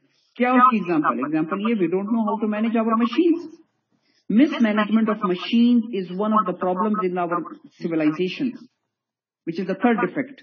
Machines were made to be man-servant, yet he has grown so dependent on them, they are in fair way to become his master. इंसान मास्टर बन गया सर्वेंट बन गया वो मास्टर बन गया तो पहला पैराग्राफ अगर आप यहाँ से लेके यहाँ तक पूरा का पूरा पढ़ ले this is all explanation of it कि इंसान कैसे मास्टर बना कैसे सर्वेंट बना। दिस इज़ एक्सप्लेनेशन तो पहले पैराग्राफ में ये बात हो गई so this is a problem ये डिफेक्ट ऑफ़ सिविलाइजेशन क्लियर फिर वो कह रहा है कि जब भाई मशीन तो हम तो सर्वेंट बन गए तो सर्वेंट और ये साइकिल कैसे चल कंटिन्यू हो रहा है? वो इस तरह से कंटिन्यू हो रहा है कि मशीन ने इंसानों के लिए टाइम सेव किया एनर्जी सेव की गुड लेकिन हमने क्या किया? हमने बहुत कम काम इसमें किया। क्यों? क्योंकि हमने वही टाइम जो है, वही एनर्जी जो है, और मशीन बनाने में लगा दी। तो ऊपर उसने यही बात की है कि जब आप मशीन के साथ ज़्यादा टाइम और एनर्जी लगाएँगे तो आप तो ऑलरेडी सर्वेंट हो। तो इसका मतलब है आप और मशीन बनाओगे तो वो और सर्वेंट बन जाओगे। और मशीन बनाओगे तो और सर्वेंट बन जाओगे।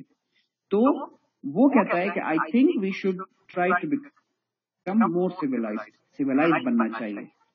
क्योंकि सिविलाइजेशन पे वो डिफेक्ट उसने बता दिया फिर नीचे ये उसका एक्सप्लेनेशन दे रहा है।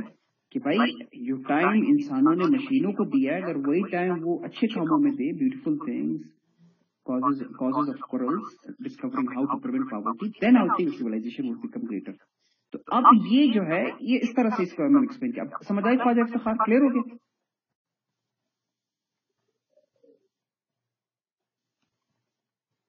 Is is clear gentleman okay good तो ये काम आप करते हैं स्कीमिंग स्कैनिंग प्रिव्यूइंग अच्छा एक और चीज़ है, हम उसको कहते हैं scanning scanning what do you understand from the term scanning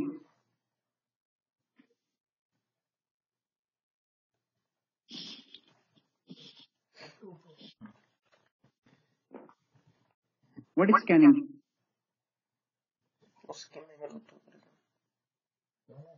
skimming और skimming okay, good. I'm following your answer.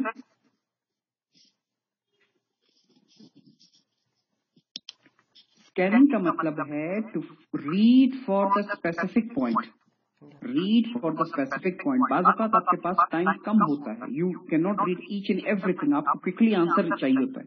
तो you just read for the specific thing scanning is also a fast reading technique it is a fast reading technique तो scanning में जब आप एक particular चीज़ के बारे में पढ़ते हैं, हो सकता है वो आपने कोई टर्मिनोलॉजी अंडरलाइन की हो वर्ड अंडरलाइन की हो तो वो आप करते हैं। चलो मैं आपको स्कैनिंग करवाता हूँ यू अंडरस्टैंड इट स्कैनिंग भला क्या है। जी स्टूडेंट ये देखें, ये एक पैसेज है। पहले मैं आपसे क्वेश्चन पूछ रहा हूँ, ये क्वेश्चन है। रीड इट केयरफुली इसमें देखिए आपको क्या आंसर चाहिए होगा। Are are Japanese universities offering courses in English if yes why ठीक? अब आपको इस सवाल का जवाब चाहिए। आप अपने पैसेज को फास्ट ट्रैक पर पढ़े, पीछे पढ़े। ठीक हो गया जी? तो आप जो है, अब आप इसी क्वेश्चन का आंसर मुझे ढूंढ के बताएँ एट वंस मुझे बताएँ। और आपका बिल्कुल मैंने अनम्यूट कर दी है, जिसको भी जवाब मिले, एकदम बता दें, ताकि मुझे पता चले कि किसको जवाब पहले मिल गया। ठीक? You can unmute yourself now just find the answer this is the passage fast reading करो, मुझे बताएँ।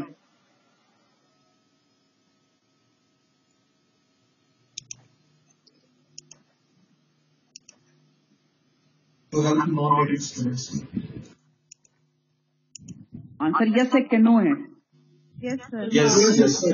Yes, sir. Yes, sir. Yes good good why why why To enroll Attract non-native. not native students. Good good बहुत अच्छे बहुत अच्छे बहुत अच्छे तो इसको हमने कहा इसको हमने कहा कि this is scanning you read very fast आपने पढ़ा आपको ब्रिटिश वर्ड नहीं आया ब्रिटिश नहीं आया जापानीज नहीं आया इधर जापान आया, जापान वर्ड कंसिडरेबल इन्वेस्टमेंट नहीं नहीं नहीं जापानीज जापानीज यूनिवर्सिटीज है वासो started program you stop here तो यू रीड फ़र्स्ट बट जिधर आपको वो चीज़ मिली यू स्टॉप देयर इसको कहते हैं स्कैनिंग ये जो लिटरल कॉम्प्रिहेंशन होती है ना लिटरल कॉम्प्रिहेंशन में आपको स्कैनिंग हेल्प करती है, क्योंकि you read the specific thing you need to go to direct directly go to the specific expression directly you go to the specific part अब आपको समझ आई कि स्कैनिंग क्या भला है? You got it now so so, इस तरह से बेसिकली आप जो हैं ये टेक्निक्स जो हैं इनका फ़ायदा लेते हैं। अच्छा अब मैं आपको बताने लगा हूँ कि जब आपने आंसर लिखना है how you should write down the answer now I am going to the next step how you should write down the answer जब आपने पैसेज रीडिंग कॉम्प्रिहेंशन में आंसर लिखने हैं so what should be your strategy to write the answer ये बड़ा important question है। मिसाल के तौर पर ये हमारा क्वेश्चन है instead of making machine our servant the author says they have become our masters in what sense has this come about ये हमने ऑलरेडी प्रीव्यूइंग की हुई है। मिसाल के तौर पर ये वो पैसेज का वो पोर्शन है फ़र्स्ट पैराग्राफ में से, जिसमें इस सवाल का जवाब है, वो ये है। यहाँ से मैंने ढूंढना है। ये कुछ वर्ड मैंने अंडरलाइन इस वजह से किए हैं, मैंने बोल्ड करके लिखे हैं, क्योंकि इसमें जो क्वेश्चन में वर्ड सर्वेंट और मास्टर लिखा हुआ है, या तो एग्जैक्टली exactly वो वर्ड लिखा हुआ है, या तो उसका सिनेनिम लिखा हुआ या वेरिएबल लिखा हुआ ठीक। तो मैंने ये वाला पोर्शन अपने लिए हाईलाइट कर लिया कि यार अब जवाब मैंने यहाँ से ढूंढना है। Now I am going to find the answer from this आप लोगों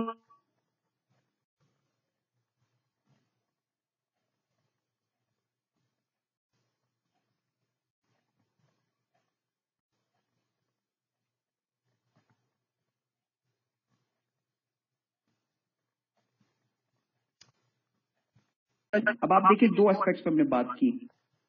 कि एक तो उसकी डिपेंडेंस है इंसान की, और दूसरी जो है वो उसका ज़्यादातर वक्त उस पर मशीनों के साथ इस्तेमाल करता है। अब उसको एक्सप्लेन कर रहा हूँ in what sense has this come about in this sense it has come about for example the machine need fuel oil and appropriate temperature to work smoothly it is the responsibility of the men to look after these aspect otherwise machine do not work and cause problems. In this way machines have become men's masters instead of servants. अगर आप लोग थोड़ा सा गौर करें, ये मैंने जो approach इस्तेमाल की है, वो ये वाली अप्रोच इस्तेमाल की है। जनरल स्टार्ट लिया है और पॉइंट जो है वो एंड पे लिखा है। Funnel approach in this way machines have become men's masters instead of servants क्या ख्याल है?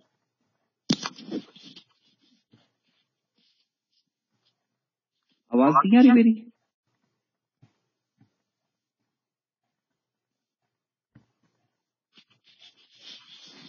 Can you hear me students मेरी आवाज़ आ रही है आप लोगों को?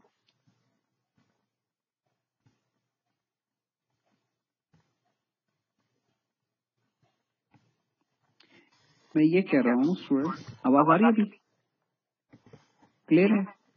ओके अच्छा मैं ये कह रहा हूँ कि ये जो आंसर है ना, अब आंसर में हमने क्या किया? आंसर में हमने वो एस्पेक्ट बता दिए विच शो के जो इंसान है वो मशीन का सर्वर बन गया। Man are dependent on machine for their work dependence most of their time spend with them time ज़्यादा इस्तेमाल होता है। How for example the machine need fuel ये सारी चीज़ें उसको चाहिए। It is the responsibility of the men to look after these aspects. Otherwise, machines do not work and cost. In this way, machines have become men's masters instead of servants. इसको कहते हैं funnel approach strategy ये funnel है पहले आप उसकी explanation generic तरीके से स्टार्ट करें और एंड पे आप बताएँ कि आपने उस सवाल का कैसे जो की पॉइंट है उसको आपने रिपीट कर दिया यू गॉट इट ये बात क्लियर हो गई अच्छा इसी सवाल को आप इस तरह से भी लिख सकते हैं। The next way next way क्या है? नेक्स्ट वे यही है कि जिस पॉइंट से आपने वो क्वेश्चन पूछा जा रहा है, वही पॉइंट से ही अपना आंसर शुरू करें। स्ट्रेट इसको कहते हैं इनवर्स फनल स्ट्रेटेजी जो की पॉइंट है, उसको शुरू में लिख दिया। इस इज़ द की और एक्सप्लेनेशन जो है, आपने ब्रॉडली बात दे दी वही आंसर है जस्ट उसका जो लास्ट लाइन है, उसको शुरू में लिख दिया है। I hope you got it yes this is the second way how you can answer in the exam और जो थर्ड वे है, वो भी मैं आपको थोड़ा सा बता देता हूँ। वो ज़्यादा नहीं इस्तेमाल होगा, लेकिन कभी कभार not always machines have become men's masters instead of servants for the following reasons. इधर आप लिख सकते हैं, firstly Men are dependent on machines for their work and most of their time is spent with them. For example, machines need fuel, oil and appropriate temperature to work smoothly. It is the responsibility of the men to look after the maintenance aspects of machines. Otherwise, they do not work and cause problems. तो इस तरीके से भी ये मैंने आपको तीन मुख्तलिफ तरीके बताए how you can go with the answer I hope you got it ठीक है अब आपको एक तो मैंने सैंपल आंसर बता दिया है और सेकेंडली मैंने आपको तरीकाकार बता दिया कि हाउ यू कैन आंसर अब आप अपने आप को आउट ऑफ़ फोर मार्क्स कितने मार्क्स देंगे? अगर ये चार मार्क्स का क्वेश्चन है, मेरे आंसर को देखते हुए आप अपने आप को कितने मार्क्स देंगे?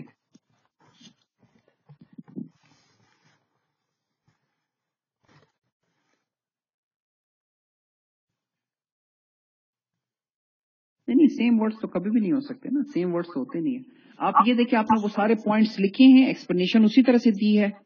आई डोंट नीड कि आप एग्जैक्टली सेम वर्ड्स इस्तेमाल कर रहे हैं। आई नीड कि एक्सप्लेनेशन आपने उतनी दी है। उसमें लिखा हुआ है कि फ्यूल चाहिए, ये चीज़ चाहिए, वो चीज़ चाहिए काम करने के लिए। अगर वो चीज़ें लिखी हुई देन इट इज़ गुड अगर नहीं लिखी it means you have missed the most important points क्योंकि आप लिख रहे हैं in what sense has this come about it is the answer of how तो हाउ का थोड़ा सा आपने एक्सप्लेन करना है, वो प्रोसीजर के क्या उसमें है। एनीवेज तो ये मैंने आपको थोड़ा सा बता दिया कि आप इसको कैसे करते हैं? अच्छा जी स्टूडेंट्स मैं आपको बता रहा हूँ कि आंसर आप लोगों ने पैसेज में कैसे लिखने हैं। सबसे बॉटम से शुरू कर रहा हूँ मोड ऑफ़ रिप्लाई स्टूडेंट्स आप लोग कोशिश कीजिएगा आंसर एग्ज़ाम में स्ट्रेट फॉरवर्ड तरीके से दें लेंथी बैकग्राउंड देने की ज़रूरत नहीं है। Don't give lengthy background in the paper ठीक है?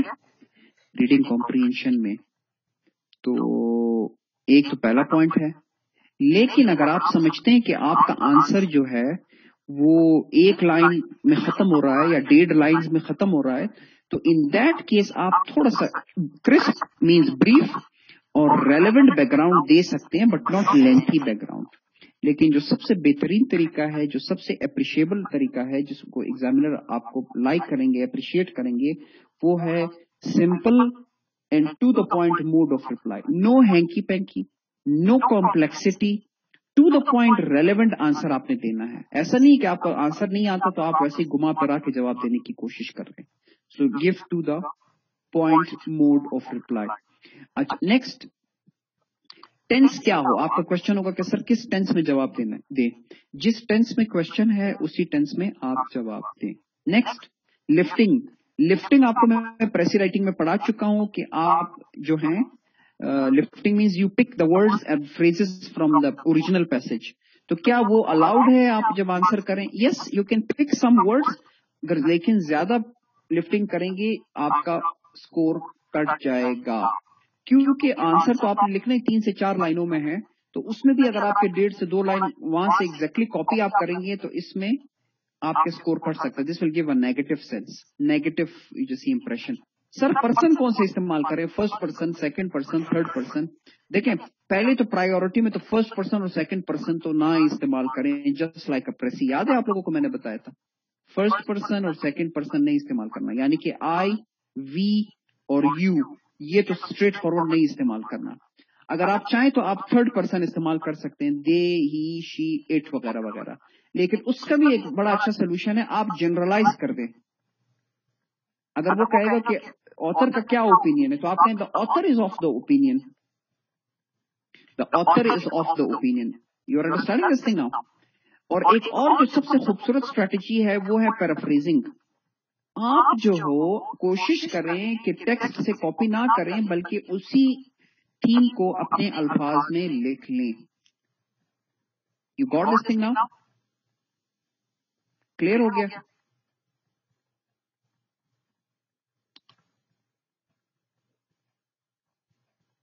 Qamar Abbas our is the derivative of we our is the derivative of we so avoid it इसीलिए तो मैंने अगर आपने गौर किया मैंने लिखा था मेंस मैन समझ आ रही है? तो उसको जनरलाइज किया। किसी ने क्वेश्चन किया कि हाउ टू जनरलाइज जनरलाइज एक तरीका ये है कि आप उसमें किसी को मेंशन ही ना करें। पर्सन लिखने की ज़रूरत ही नहीं है। आप उसको नॉर्मल कह देंगे author is of the opinion people for example author something like this जहाँ थर्ड पर्सन लगाना चाहे तो वहाँ लगा सकते हैं। Okay okay, yes yes. एक क्वेश्चन आया जो बड़ा रेलेवेंट क्वेश्चन है कि सर आंसर की लेंथ कितनी होनी चाहिए? What should be the length of the question answer तो उसमें मैं आपको थोड़ा सा एक्सप्लेन कर देता हूँ स्टूडेंट्स नॉर्मली आपके आंसर्स आते हैं फोर मार्क्स से ठीक? तो मैं आपको एक जनरल प्रिंसिपल बताता हूँ। जनरल पहले तो एक चीज़ समझिए there is no hard and fast rule length कितनी होनी चाहिए। फ़र्स्ट ऑफ़ ऑल ये समझ लें दूसरी दूसरा प्रिंसिपल ये है which is a very logical principle कि जनरली आपके आंसर्स होते हैं मार्क आंसर के जो स्कोर है वो है फोर मार्क्स तो what you can do is आप for one line you can write one mark आप जनरली लिखें कि भाई एक लाइन लिखूँगा वन मार्क दो लाइन लिखूँगा टू मार्क थ्री लाइन लिखूँगा थ्री मार्क ठीक? लेकिन ये भी ज़रूरी नहीं है। कुछ ऐसे क्वेश्चंस होंगे जिसके आंसर आपको दो दो डेढ़ डेढ़ दो ढाई लाइनों में भी आप लिख सकते हैं। You can write in that you can go that way doesn't matter at all कोई हार्ड और फास्ट रूल नहीं है। लेकिन जनरल प्रिंसिपल ये रखें। इतना लिखें कि आप दूसरे बंदे को प्रॉपरली चीज़ समझा दें। उसका एक जनरल प्रिंसिपल बड़ा अच्छा प्रिंसिपल है कि आप one mark one line I hope you got this point लेकिन सवाल ये है कि कुछ क्वेश्चंस ऐसे भी होंगे जिसमें even you need more lines चार लाइनों से भी आपको ज़्यादा लिखना पड़ेगा जस्ट लाइक like ये जो इसका क्वेश्चन नंबर फोर है और क्वेश्चन नंबर फाइव है। आप लोगों ने चूँकि अटेम्प्ट किया है तो you may have gotten the idea कि उस क्वेश्चन के कितने पार्ट थे I hope you got that तो वो वाले आंसर जो है वो चार लाइनों में फिर नहीं आ सकते। तो then you go beyond four lines four five six seven तक भी आप जा सकते हैं। You got this thing now तो ये जो इंटरप्रेटिव कॉम्प्रीहेंशन वाले क्वेश्चन होते हैं या जो अप्लाइड कॉम्प्रीहेंशन वाले क्वेश्चन होते हैं इसकी लेंथ इंक्रीज कर जाती है फोर लाइन से इंक्रीज कर जाती है। और ये जो लिटरल कॉम्प्रीहेंशन वाले क्वेश्चन है ये जो लेक्सिकल कॉम्प्रीहेंशन वाले क्वेश्चन है ये आपको फोर लाइन के अंदर अंदर आ जाएँगे। और जो मीनिंग वाला अगर सिंपली स्ट्रेट फॉरवर्ड मीनिंग है तो अगर मैं आपको सच बताऊँ तो वो सिर्फ़ मीनिंग ही पूछे तो उसमें वो आप एक लाइन में भी लिख सकते हैं। लेकिन don't go that way safe side के लिए कुछ उस, उससे रेलेवेंट चीज़ पैसे से और भी लिख लीजिएगा। I hope you got that point yes और नो क्लियर है?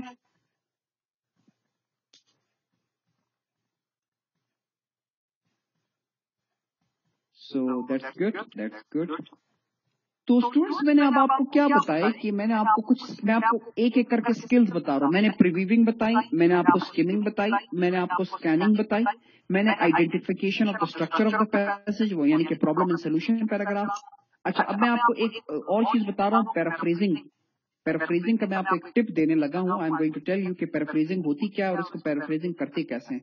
जी स्टूडेंट्स ये मैं आपके सामने एक minute. Can you see the screen screen नज़र आ रही है आप लोगों को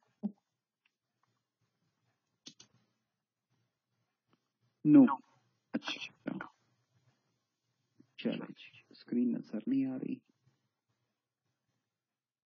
अब आ रही है can you see the screen good student आपके सामने एक सेंटेंस है। इस सेंटेंस को पैराफ्रेज करें। ऊपर डेफिनेशन लिखी हुई है।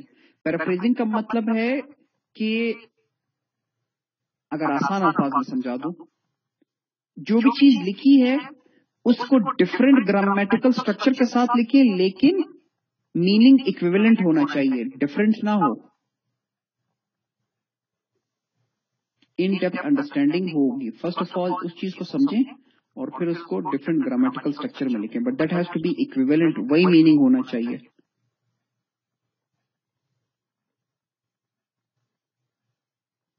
Ammar Mustafa I am going to give your answer after this ये एक इसको पहले लिख लें स्टेटमेंट को जो मैंने दी आपको इसको पैराफ्रेज कर दें अपने अल्फाज में लिखें then I am going to give you the answer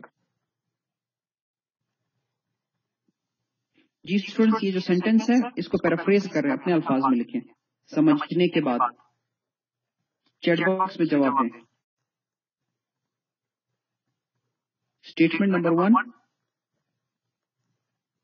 इसको पैराफ्रेज करें अपने अल्फाज में लिखें।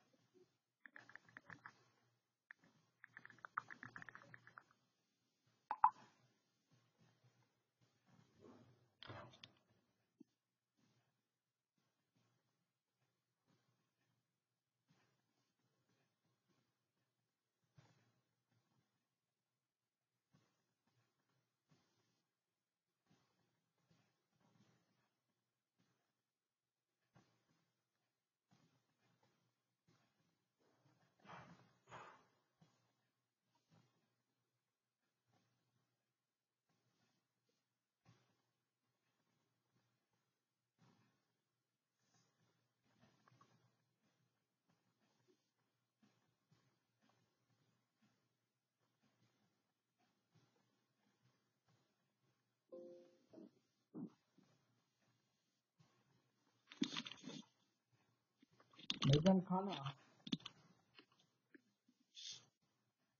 भाईजान खाना जी स्टूडेंट्स खाना क्या खाना है क्या खाना है क्या कर रहे हो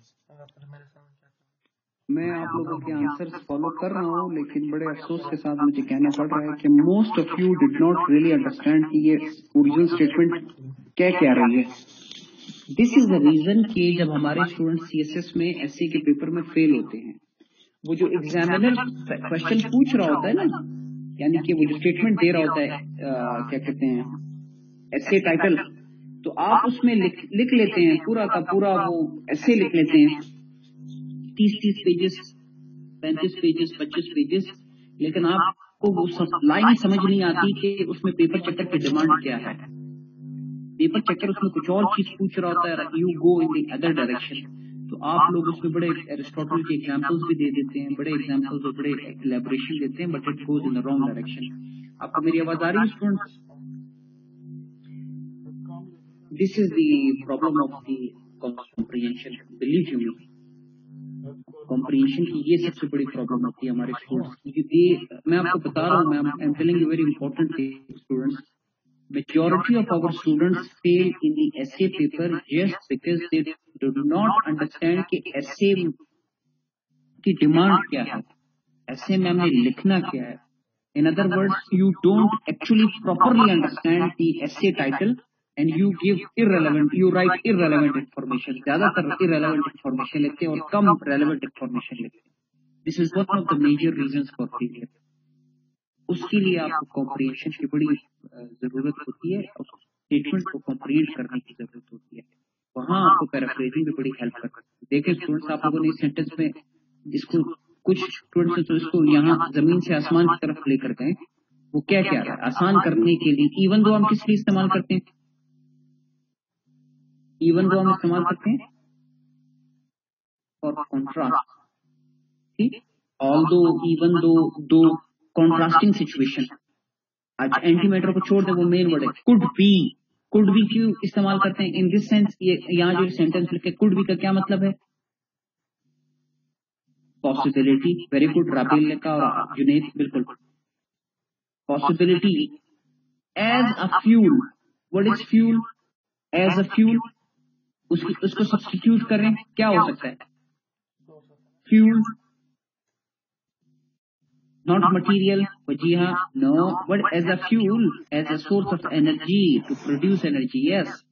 To provide power fuel power energy. Further research further research. More more research is needed is needed is required to make its delivery safe delivery safe. Mudassar ने कहा एडिशनल रिसर्च इज़ रिक्वायर्ड बहुत अच्छे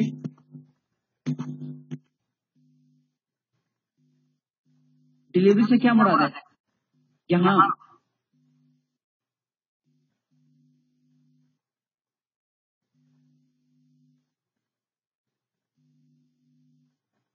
transportation transportation use नहीं safe transportation safe transportation आप समझ आ रही है आपको? समझ आ रही है आपको कि नहीं आ रही? जब आपके सामने कोई स्टेटमेंट डिफ़िकल्ट हो तो उसको तोड़ लें। ये कह रहा है कि अगरचा एंटीमेटर ये पॉसिबिलिटी है कि उसको हम as a source of power इस्तेमाल करें पॉसिबिलिटी है। हुई नहीं। Further research is required further research चाहिए अभी और भी कि उसके ट्रांसपोर्टेशन मेथड को जरा सेव करें तब जाके और फिर एंटीबायोटिक को पॉसिबिलिटी होगी फ्यूचर में किसको हम as a source of energy इस्तेमाल करें अब समझ आए कि सेंटेंस का क्या मतलब है Although there is possibility that antimatter can be used as fuel as a source of power in future, additional research is required for its safe transportation. Risk free transportation अगर आप सिर्फ़ सिनेरिम्स भी लगा लेते हैं तो आप इसका मतलब ज़्यादा दूर नहीं जाएँगे। ये ये मैं आपको कुछ तरीका बता रहा हूँ कि how you break the difficult sentence ये देखें, इधर देखें। इक्विवेलेंट ग्रामर इक्विवेलेंट आप जब किसी चीज़ की पैराफ्रेजिंग करते हैं तो आप उसको अपने अल्फाज में तो लिख लेते हैं, लेकिन वो इक्विवेलेंट ग्रामेटिकल स्ट्रक्चर आप इस्तेमाल करते हैं। उसी चीज़ को उसी से क्लोज क्लोज आंसर लिखने की कोशिश करते हैं। ये नहीं कि अपनी तरफ़ से कोई और चीज़ बताए। तो अब आपको ये सेंटेंस की समझ आई कि वो कह रहा है अब मैं आपको बता रहा हूँ कि ये इसका मतलब क्या है। There is possibility for the antimatter to be use as a fuel there is possibility for the antimatter to be used as a fuel, additional research is required for its safe transportation. क्या ख्याल है? समझ आई आप लोगों को you got it now तो आप लोगों ने इसको इस तरह से करना है समझ के करना है। एनीवेज मैं इनशाला इसी लेक्चर के कुछ 10-15 मिनट हैं। मैं इसी लेक्चर को कंटिन्यू करूँगा इन द नेक्स्ट क्लास इनशाला मुझे उम्मीद है कि आज की क्लास से आपको बड़ा फ़ायदा हुआ होगा। आपको छोटे छोटे स्किल्स का पता चल गया है कि आपने किस चीज़ को कौन कौन सी स्किल्स इस्तेमाल करने हैं रीडिंग कॉम्प्रिहेंशन में। Like previewing like skimming like scanning like comprehending the structure of the passage समझ आ रही है आपको? लाइक पैराफ्रेजिंग आंसर आपने कैसे करना है? आंसर की लेंथ कैसे हो? इज़ ऑल थिंग्स राइट तो इनशाला स्टूडेंट नेक्स्ट क्लास में नेक्स्ट क्लास में आप कुछ आप लोगों के क्वेश्चंस भी होंगे तो मैं नेक्स्ट क्लास स्टार्ट में पहले आपके क्वेश्चन लूँगा, और उसके बाद में आपको इंशाल्लाह इस लेक्चर को मुकम्मल करके फिर will go to the next topic I hope that